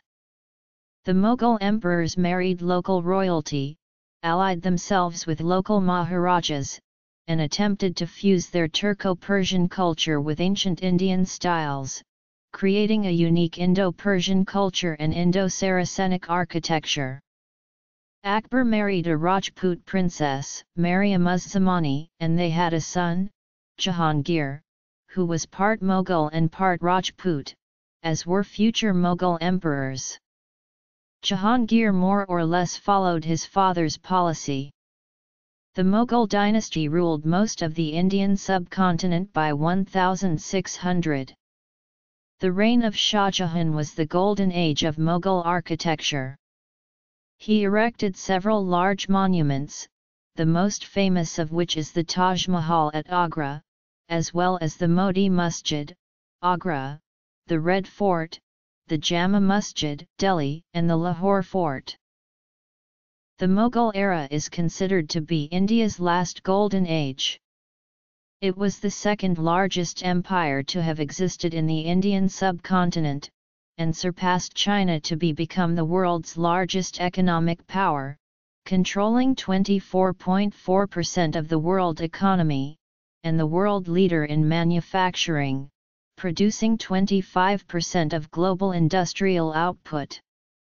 The economic and demographic upsurge was stimulated by Mughal agrarian reforms that intensified agricultural production, a proto-industrializing economy that began moving towards industrial manufacturing, and a relatively high degree of urbanization for its time.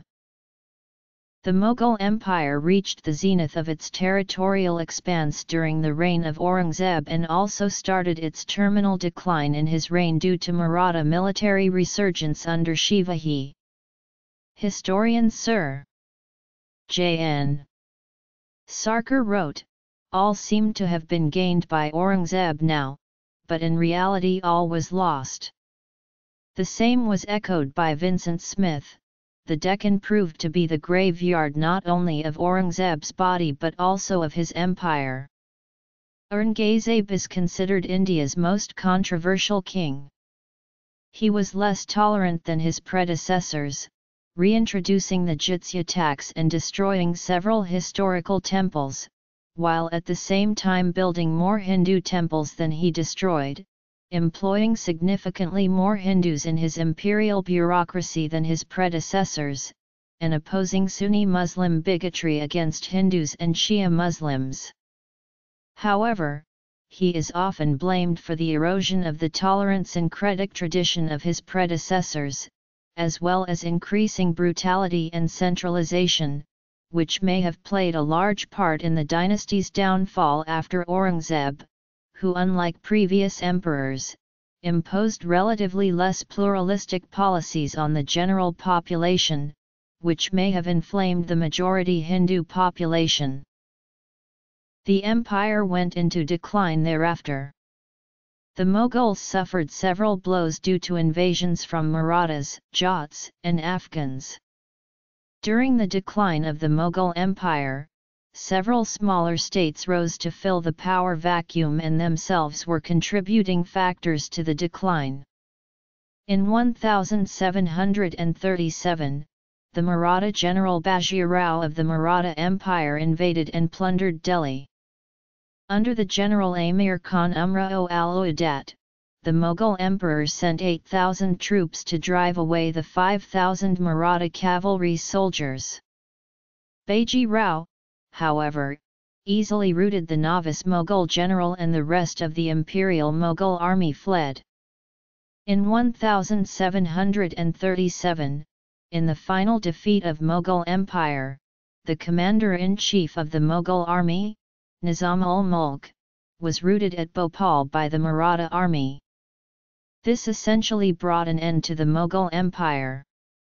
While Bharatpur state under Jat ruler Suraj Mal, overran the Mughal garrison at Agra and plundered the city taking with them the two great silver doors of the entrance of the famous Taj Mahal, which were then melted down by Suraj Mal in 1763. In 1739, Nader Shah, Emperor of Iran, defeated the Mughal army at the Battle of Karnal. After this victory, Nader captured and sacked Delhi, carrying away many treasures, including the peacock throne. Mughal rule were further weakened by constant native Indian resistance. Banda Singh Bahadur led the Sikh Khalsa against Mughal religious oppression. Hindu Rajas of Bengal, Pratapaditya and Raja Sitaram Ray revolted, and Maharaja Chhatrasal, of Bundela Rajputs, fought the Mughals and established the Panna state. The Mughal dynasty was reduced to puppet rulers by 1757. The remnants of the Mughal dynasty were finally defeated during the Indian Rebellion of 1857, also called the 1857 War of Independence, and the remains of the empire were formally taken over by the British while the Government of India Act 1858 let the British Crown assume direct control of India in the form of the new British Raj. Territory under Maratha control in 1760, the last Hindu Empire of India. Shaniwarwada Palace Fort in Pune, seat of the Peshwa rulers of the Maratha Empire until 1818. In the early 18th century the Maratha Empire extended suzerainty over the Indian subcontinent. Under the Peshwas, the Marathas consolidated and ruled over much of South Asia. The Marathas are credited to a large extent for ending Mughal rule in India. Notes The Maratha kingdom was founded and consolidated by Chhatrapati Shivaji, a Maratha aristocrat of the Bhonsle clan who was determined to establish Hindavi Swarajya. Sir J.N. Sarkar described Shivaji as the last great constructive genius and nation builder that the Hindu race has produced. However, the credit for making the Marathas formidable power nationally goes to Peshwa Bajirao I historian KK. Datta wrote that Bajirao I may very well be regarded as the second founder of the Maratha Empire.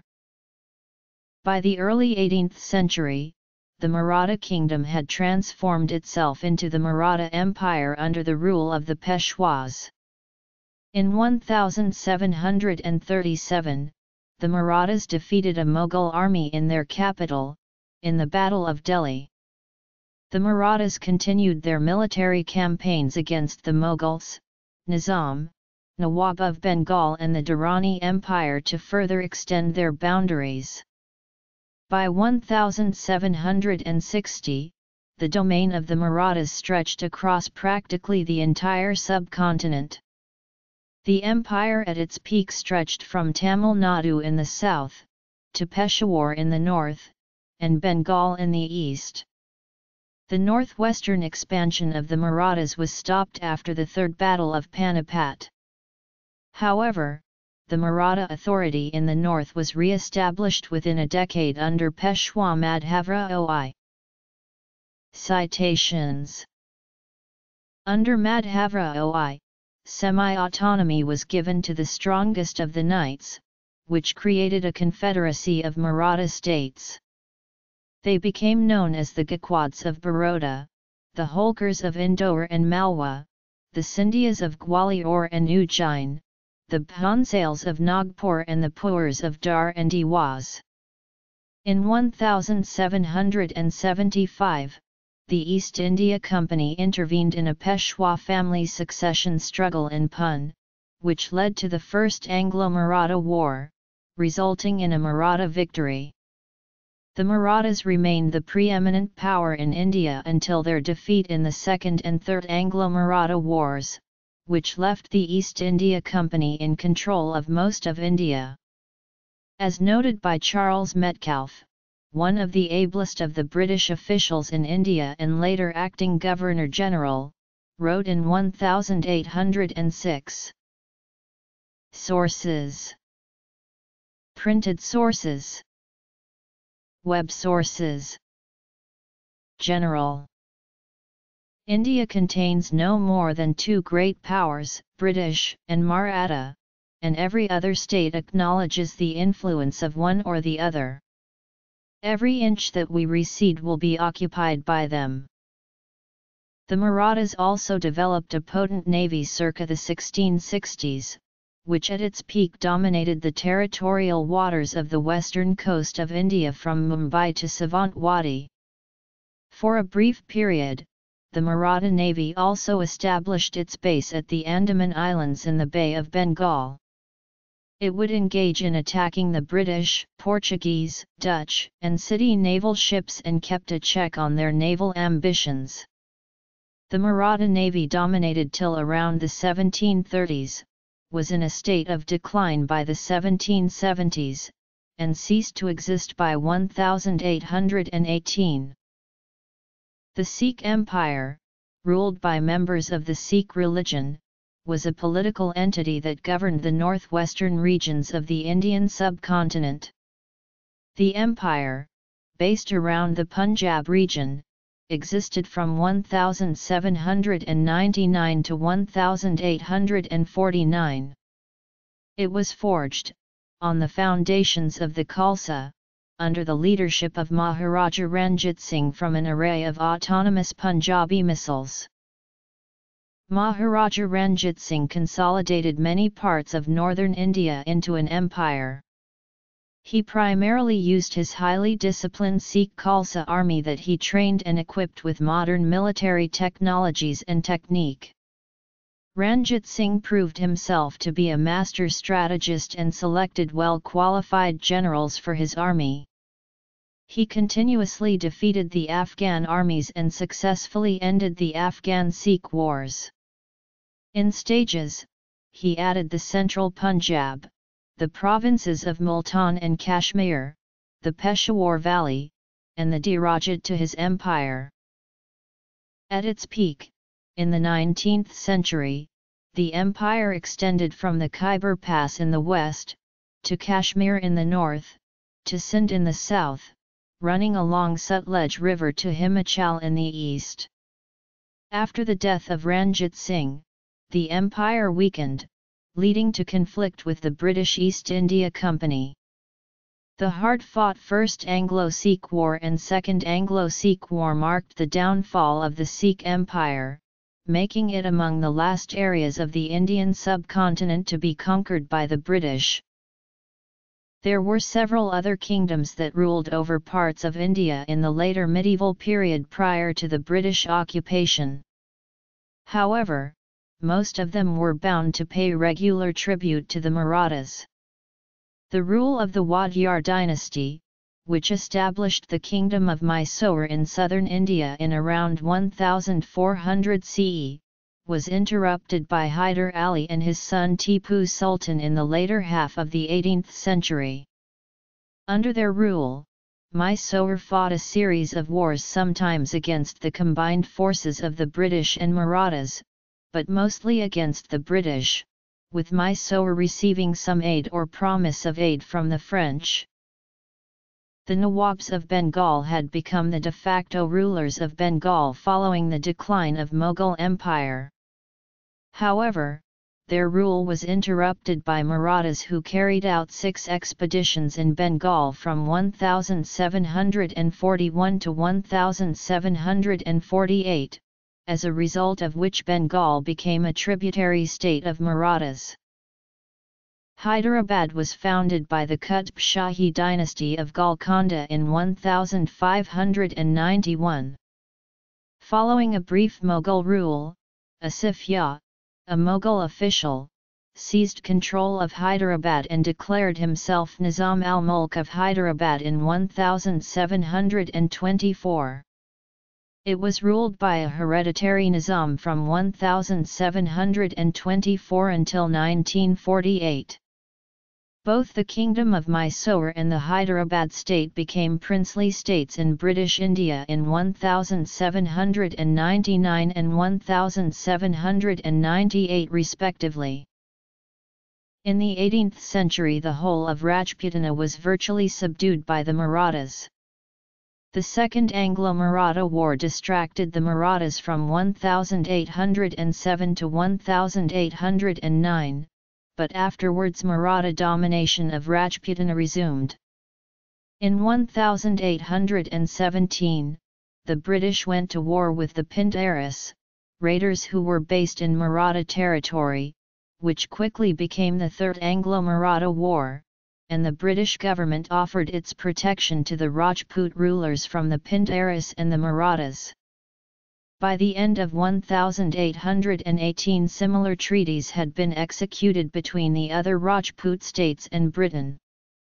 The Maratha Scindia ruler of Gwalior gave up the district of Ajmer Merwara to the British, and Maratha influence in Rajasthan came to an end. Most of the Rajput princes remained loyal to Britain in the revolt of 1857, and few political changes were made in Rajputana until Indian independence in 1947. The Rajputana Agency contained more than 20 princely states, most notable being Udaipur state, Jaipur state, Bikaner state, and Jodhpur state. After the First Anglo-Sikh War in 1846, under the terms of the Treaty of Amritsar, the British government sold Kashmir to Maharaja Gulab Singh and the princely state of Jammu and Kashmir, the second largest princely state in British India, was created by the Dogra dynasty. After the fall of the Vijayanagara Empire, Palayakarar states emerged in southern India, and managed to weather invasions and flourished till the advent of the British. Around the 18th century, the Kingdom of Nepal was formed by Rajput rulers. In 1498, a Portuguese fleet under Vasco da Gama successfully discovered a new sea route from Europe to India, which paved the way for direct Indo-European commerce. The Portuguese soon set up trading posts in Goa, Daman, Diu, and Bombay. Goa became the main Portuguese base until it was annexed by India in 1961. The next to arrive were the Dutch, with their main base in Ceylon. They established ports in Malabar.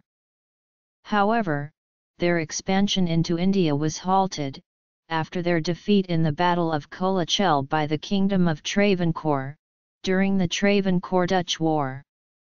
The Dutch never recovered from the defeat and no longer posed a large colonial threat to India. In the words of the noted historian, Professor A. Sridhara Menon, a disaster of the first magnitude for the Dutch, the Battle of Colachel shattered for all time their dream of the conquest of Kerala. The internal conflicts among Indian kingdoms gave opportunities to the European traders to gradually establish political influence in appropriate lands. Following the Dutch, the British who set up in the west coast port of Surat in 1619 and the French both established trading outposts in India. Although these continental European powers controlled various coastal regions of southern and eastern India during the ensuing century, they eventually lost all their territories in India to the British, with the exception of the French outposts of Pondicherry and Chandernagore, and the Portuguese colonies of Goa, Daman, and Diu. In 1617 the British East India Company was given permission by Mughal Emperor Jahangir to trade in India.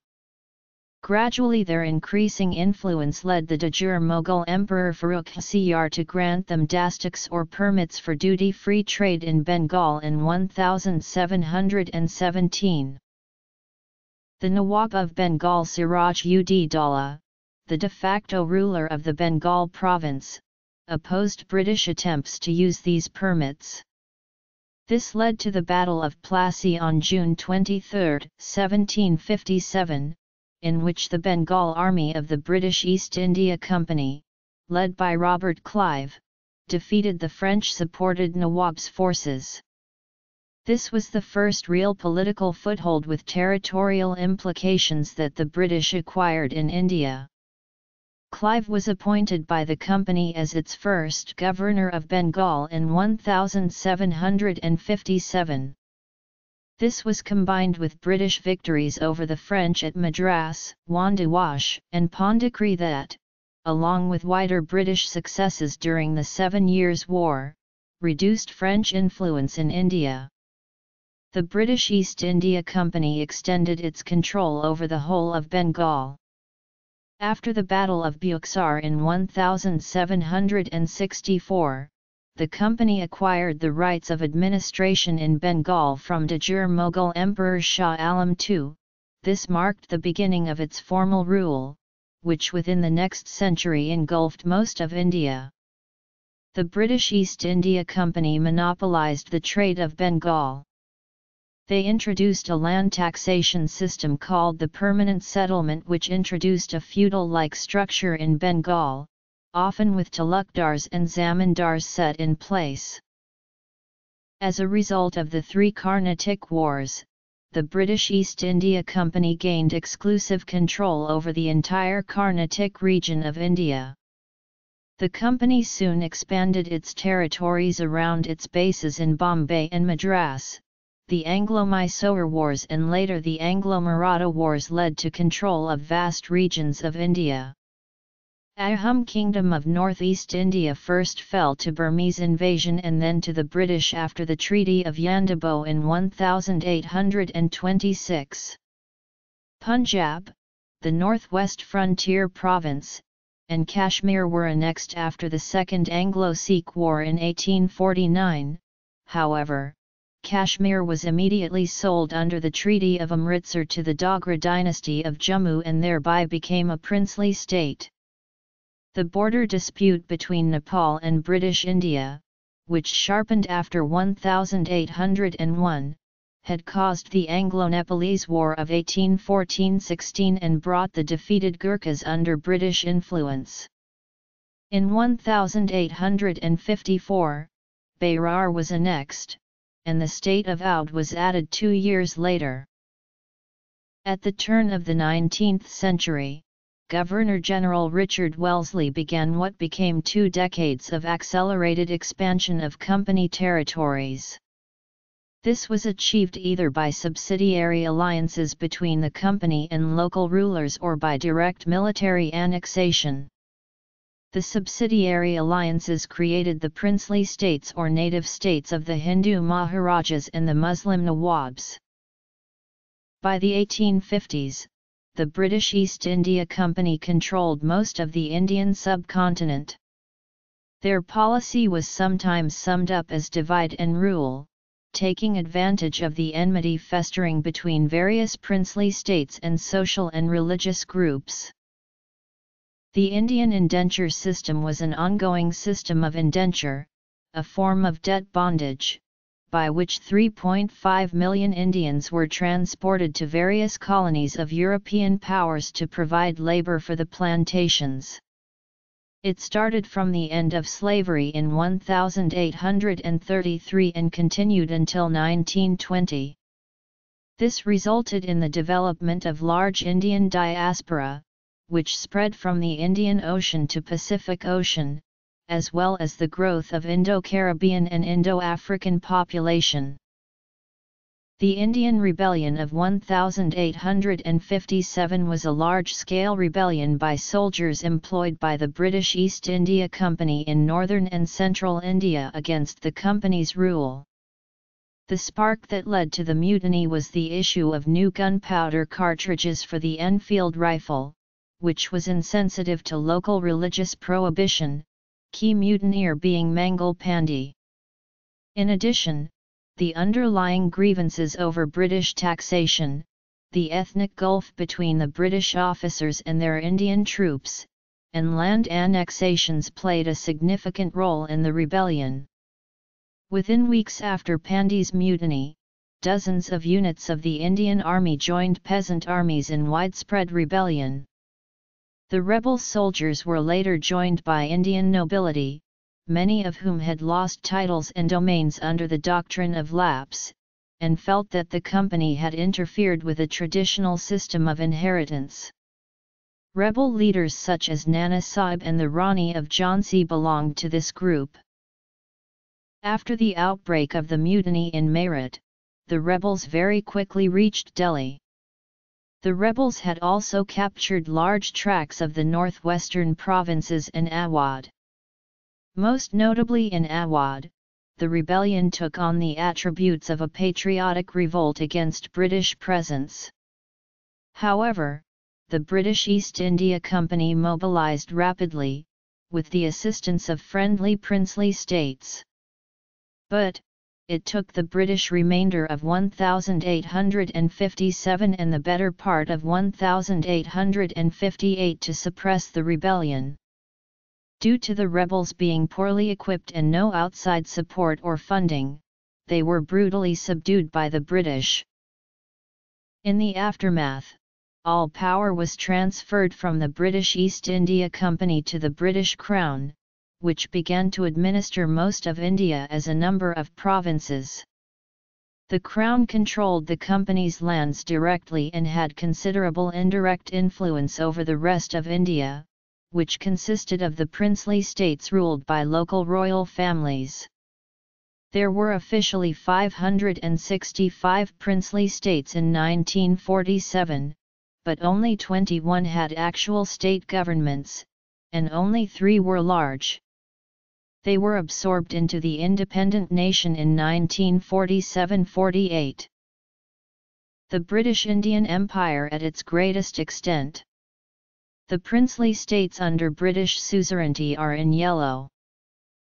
Victoria Memorial was dedicated to the memory of the Empress of India Victoria in Calcutta, which served as the capital of British-held territories in India until 1911.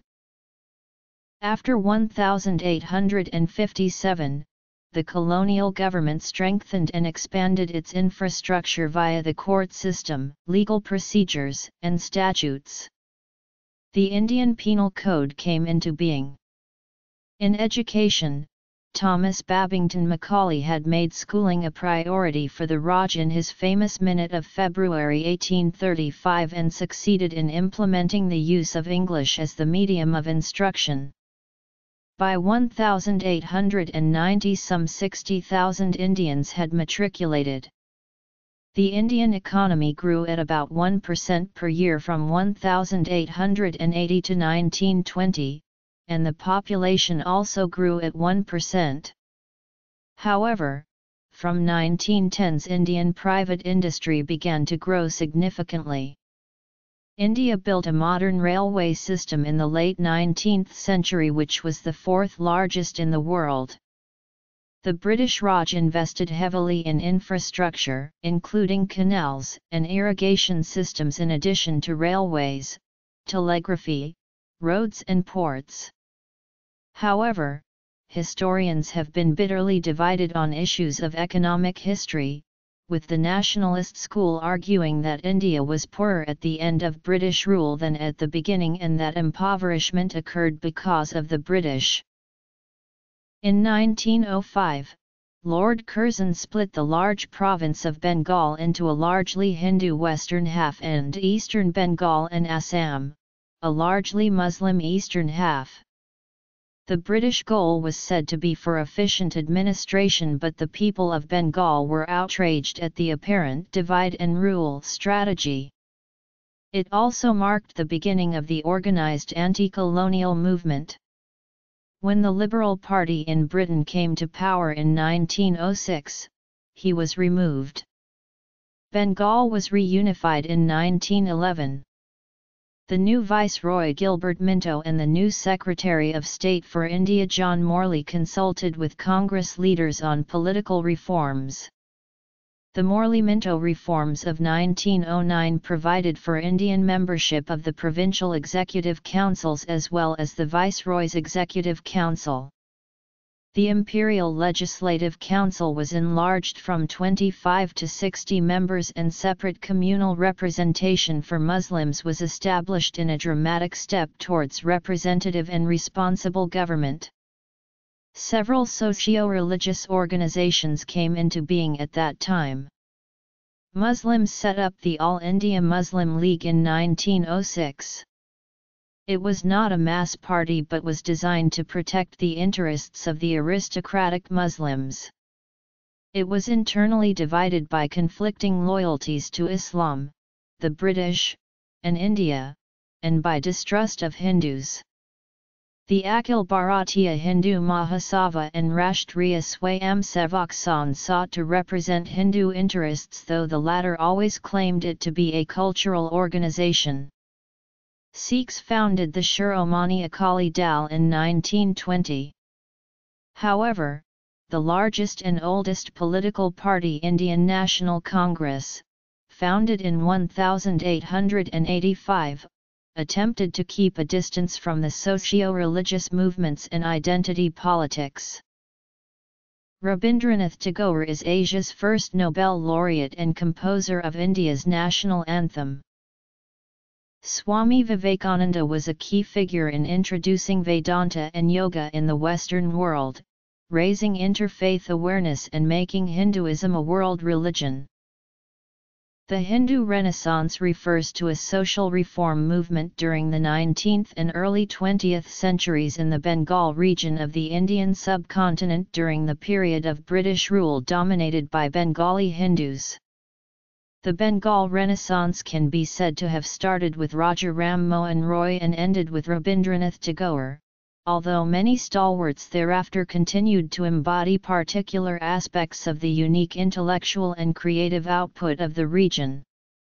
19th-century Bengal was a unique blend of religious and social reformers, scholars, literary giants, journalists, patriotic orators, and scientists, all merging to form the image of a renaissance, and marked the transition from the medieval to the modern.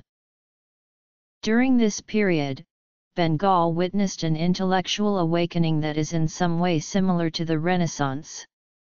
This movement questioned existing orthodoxies, particularly with respect to women, marriage, the dowry system, the caste system, and religion. One of the earliest social movements that emerged during this time was the Young Bengal movement, which espoused rationalism and atheism as the common denominators of civil conduct among upper caste educated Hindus. It played an important role in reawakening Indian minds and intellect across the Indian subcontinent. During company rule in India and the British Raj, famines in India, often attributed to El Nino and failed policies of British colonial government, were some of the worst ever recorded, including the Great Famine of 1876–78 in which 6.1 million to 10.3 million people died, the Great Bengal Famine of 1770 where up to 10 million people died, the Indian Famine of 1899–1900 in which 1.25 to 10 million people died, and the Bengal Famine of 1943 where up to 3.8 million people died. The third plague pandemic in the mid-19th century killed 10 million people in India. Despite persistent diseases and famines, the population of the Indian subcontinent, which stood at up to 200 million in 1750, had reached 389 million by 1941. The numbers of British in India were small, yet they were able to rule 52% of the subcontinent directly and exercise considerable leverage over the princely states that accounted for 48% of the area. One of the most important events of the 19th century was the rise of Indian nationalism, leading Indians to seek first self-rule and later complete independence. However, historians are divided over the causes of its rise. Probable reasons include a clash of interests of the Indian people with British interests, racial discriminations, and the revelation of India's past. The first step toward Indian self-rule was the appointment of councillors to advise the British Viceroy in 1861 and the first Indian was appointed in 1909. Provincial councils with Indian members were also set up. The councillors' participation was subsequently widened into legislative councils. The British built a large British Indian Army, with the senior officers all British and many of the troops from small minority groups such as Gurkhas from Nepal and Sikhs. The civil service was increasingly filled with natives at the lower levels, with the British holding the more senior positions. Bal Gangadhar Tilak, an Indian nationalist leader, declared Swaraj as the destiny of the nation. His popular sentence Swaraj is my birthright, and I shall have it became the source of inspiration for Indians. Tilak was backed by rising public leaders like Bipin Chandra Pal and Lala Lajpat Rai, who held the same point of view, Notably they advocated the Swadeshi movement involving the boycott of all imported items and the use of Indian-made goods. The triumvirate were popularly known as Lal Bal Pal. Under them, India's three big provinces Maharashtra, Bengal, and Punjab shaped the demand of the people and India's nationalism. In 1907, the Congress was split into two factions, the Radicals, led by Tilak, advocated civil agitation and direct revolution to overthrow the British Empire and the abandonment of all things British. The moderates, led by leaders like Dadabhai Naoroji and Gopal Krishna Gokhale, on the other hand wanted reform within the framework of British rule. The British themselves adopted a carrot and stick approach in recognition of India's support during the First World War and in response to renewed nationalist demands. The means of achieving the proposed measure were later enshrined in the Government of India Act 1919, which introduced the principle of a dual mode of administration, or diarchy, in which elected Indian legislators and appointed British officials shared power. From 1920 leaders such as Mahatma Gandhi began highly popular mass movements to campaign against the British Raj using largely peaceful methods. The Gandhi-led independence movement opposed the British rule using non-violent methods like non-cooperation, civil disobedience and economic resistance. However, revolutionary activities against the British rule took place throughout the Indian subcontinent and some others adopted a militant approach like the Indian National Army that sought to overthrow British rule by armed struggle. The Government of India Act 1935 was a major success in this regard. During the Second World War, India was controlled by the United Kingdom, with the British holding territories in India including over 500 autonomous princely states, British India officially declared war on Nazi Germany in September 1939. The British Raj, as part of the Allied nations, sent over two and a half million volunteer soldiers to fight under British command against the Axis powers. Additionally, several Indian princely states provided large donations to support the Allied campaign during the war. India also provided the base for American operations in support of China in the China-Burma-India theater.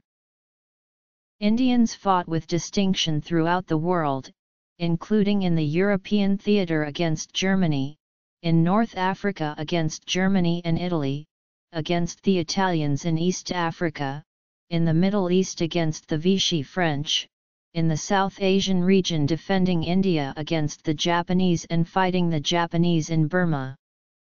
Indians also aided in liberating British colonies such as Singapore and Hong Kong after the Japanese surrender in August 1945. Over 87,000 Indian soldiers died in World War II.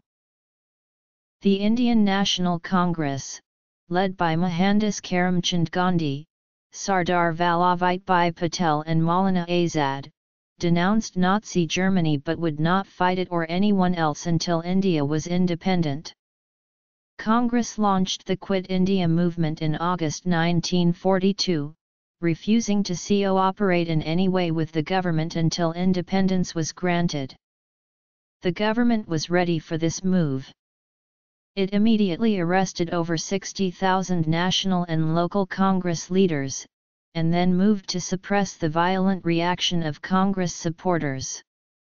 Key leaders were kept in prison until June 1945, although Gandhi was released in May 1944 because of his health.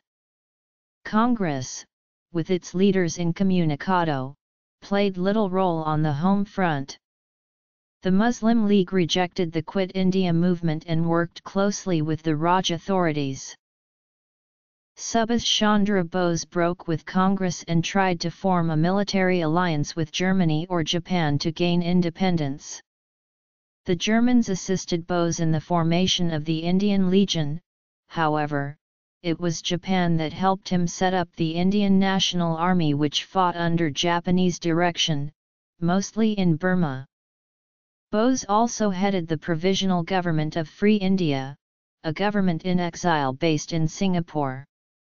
The government of Azad Hind had its own currency, court, and civil code, and in the eyes of some Indians its existence gave a greater legitimacy to the independence struggle against the British.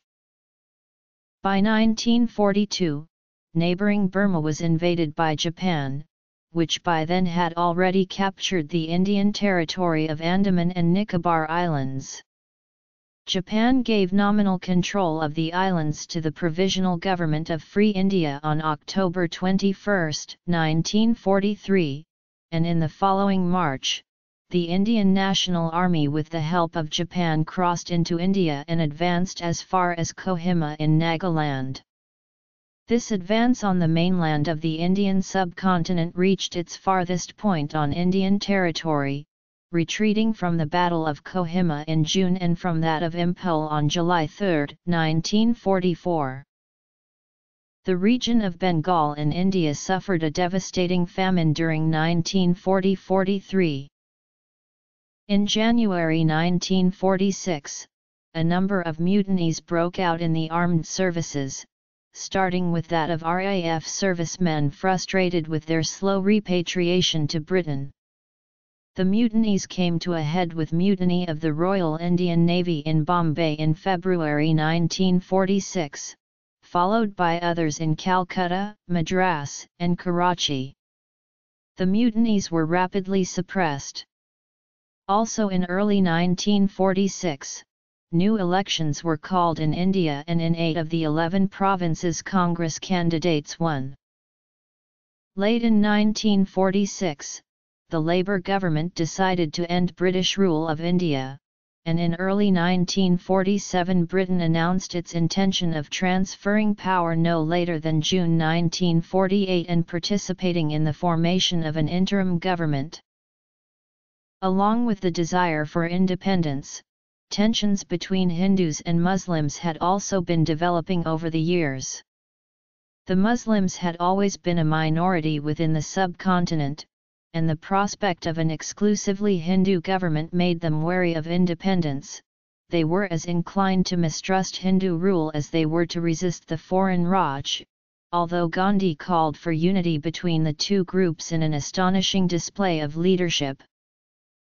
Muslim League leader Muhammad Ali Jinnah proclaimed August 16, 1946 as Direct Action Day, with the stated goal of highlighting, peacefully, the demand for a Muslim homeland in British India, which resulted in the outbreak of the cycle of violence that would be later called the Great Calcutta Killing of August 1946. The communal violence spread to Bihar, to Noakhali in Bengal, in Garhmukteshwar in the United Provinces, and on to Rawalpindi in March 1947 in which Hindus were attacked or driven out by Muslims. The British Indian territories gained independence in 1947, after being partitioned into the Union of India and Dominion of Pakistan. Following the controversial division of pre-partition Punjab and Bengal, rioting broke out between Sikhs, Hindus, and Muslims in these provinces and spread to several other parts of India, leaving some 500,000 dead. Also, this period saw one of the largest mass migrations ever recorded in modern history, with a total of 12 million Hindus, Sikhs, and Muslims moving between the newly created nations of India and Pakistan. In 1971, Bangladesh, formerly East Pakistan and East Bengal, seceded from Pakistan. Historiography is the study of the history and methodology of the discipline of history.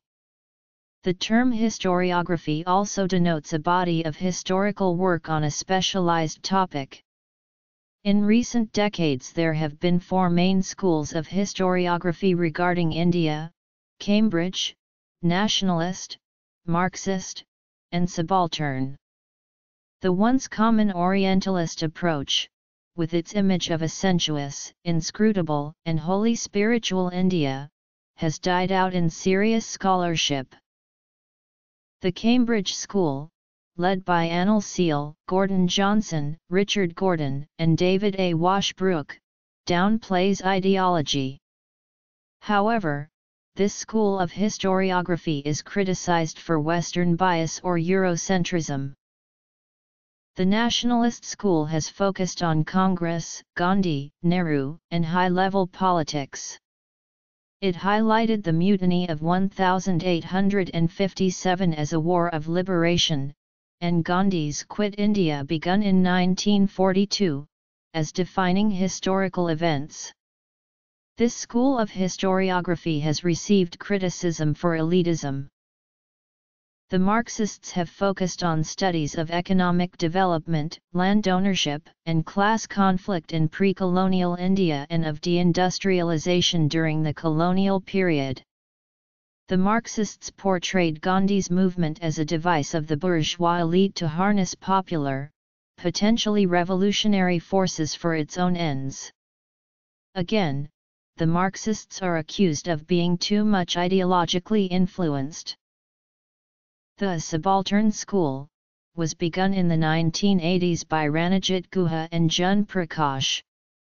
It focuses attention away from the elites and politicians to history from below, looking at the peasants using folklore, poetry, riddles, proverbs, songs, oral history and methods inspired by anthropology.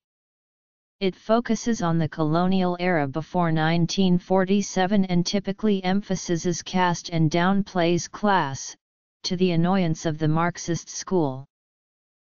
More recently, Hindu nationalists have created a version of history to support their demands for Hindutva in Indian society. This school of thought is still in the process of development. In March 2012, Diana L. Eck, professor of comparative religion and Indian studies at Harvard University, authored in her book India, A Sacred Geography, that idea of India dates to a much earlier time than the British or the Mughals and it wasn't just a cluster of regional identities and it wasn't ethnic or racial. Historiography 2 Primary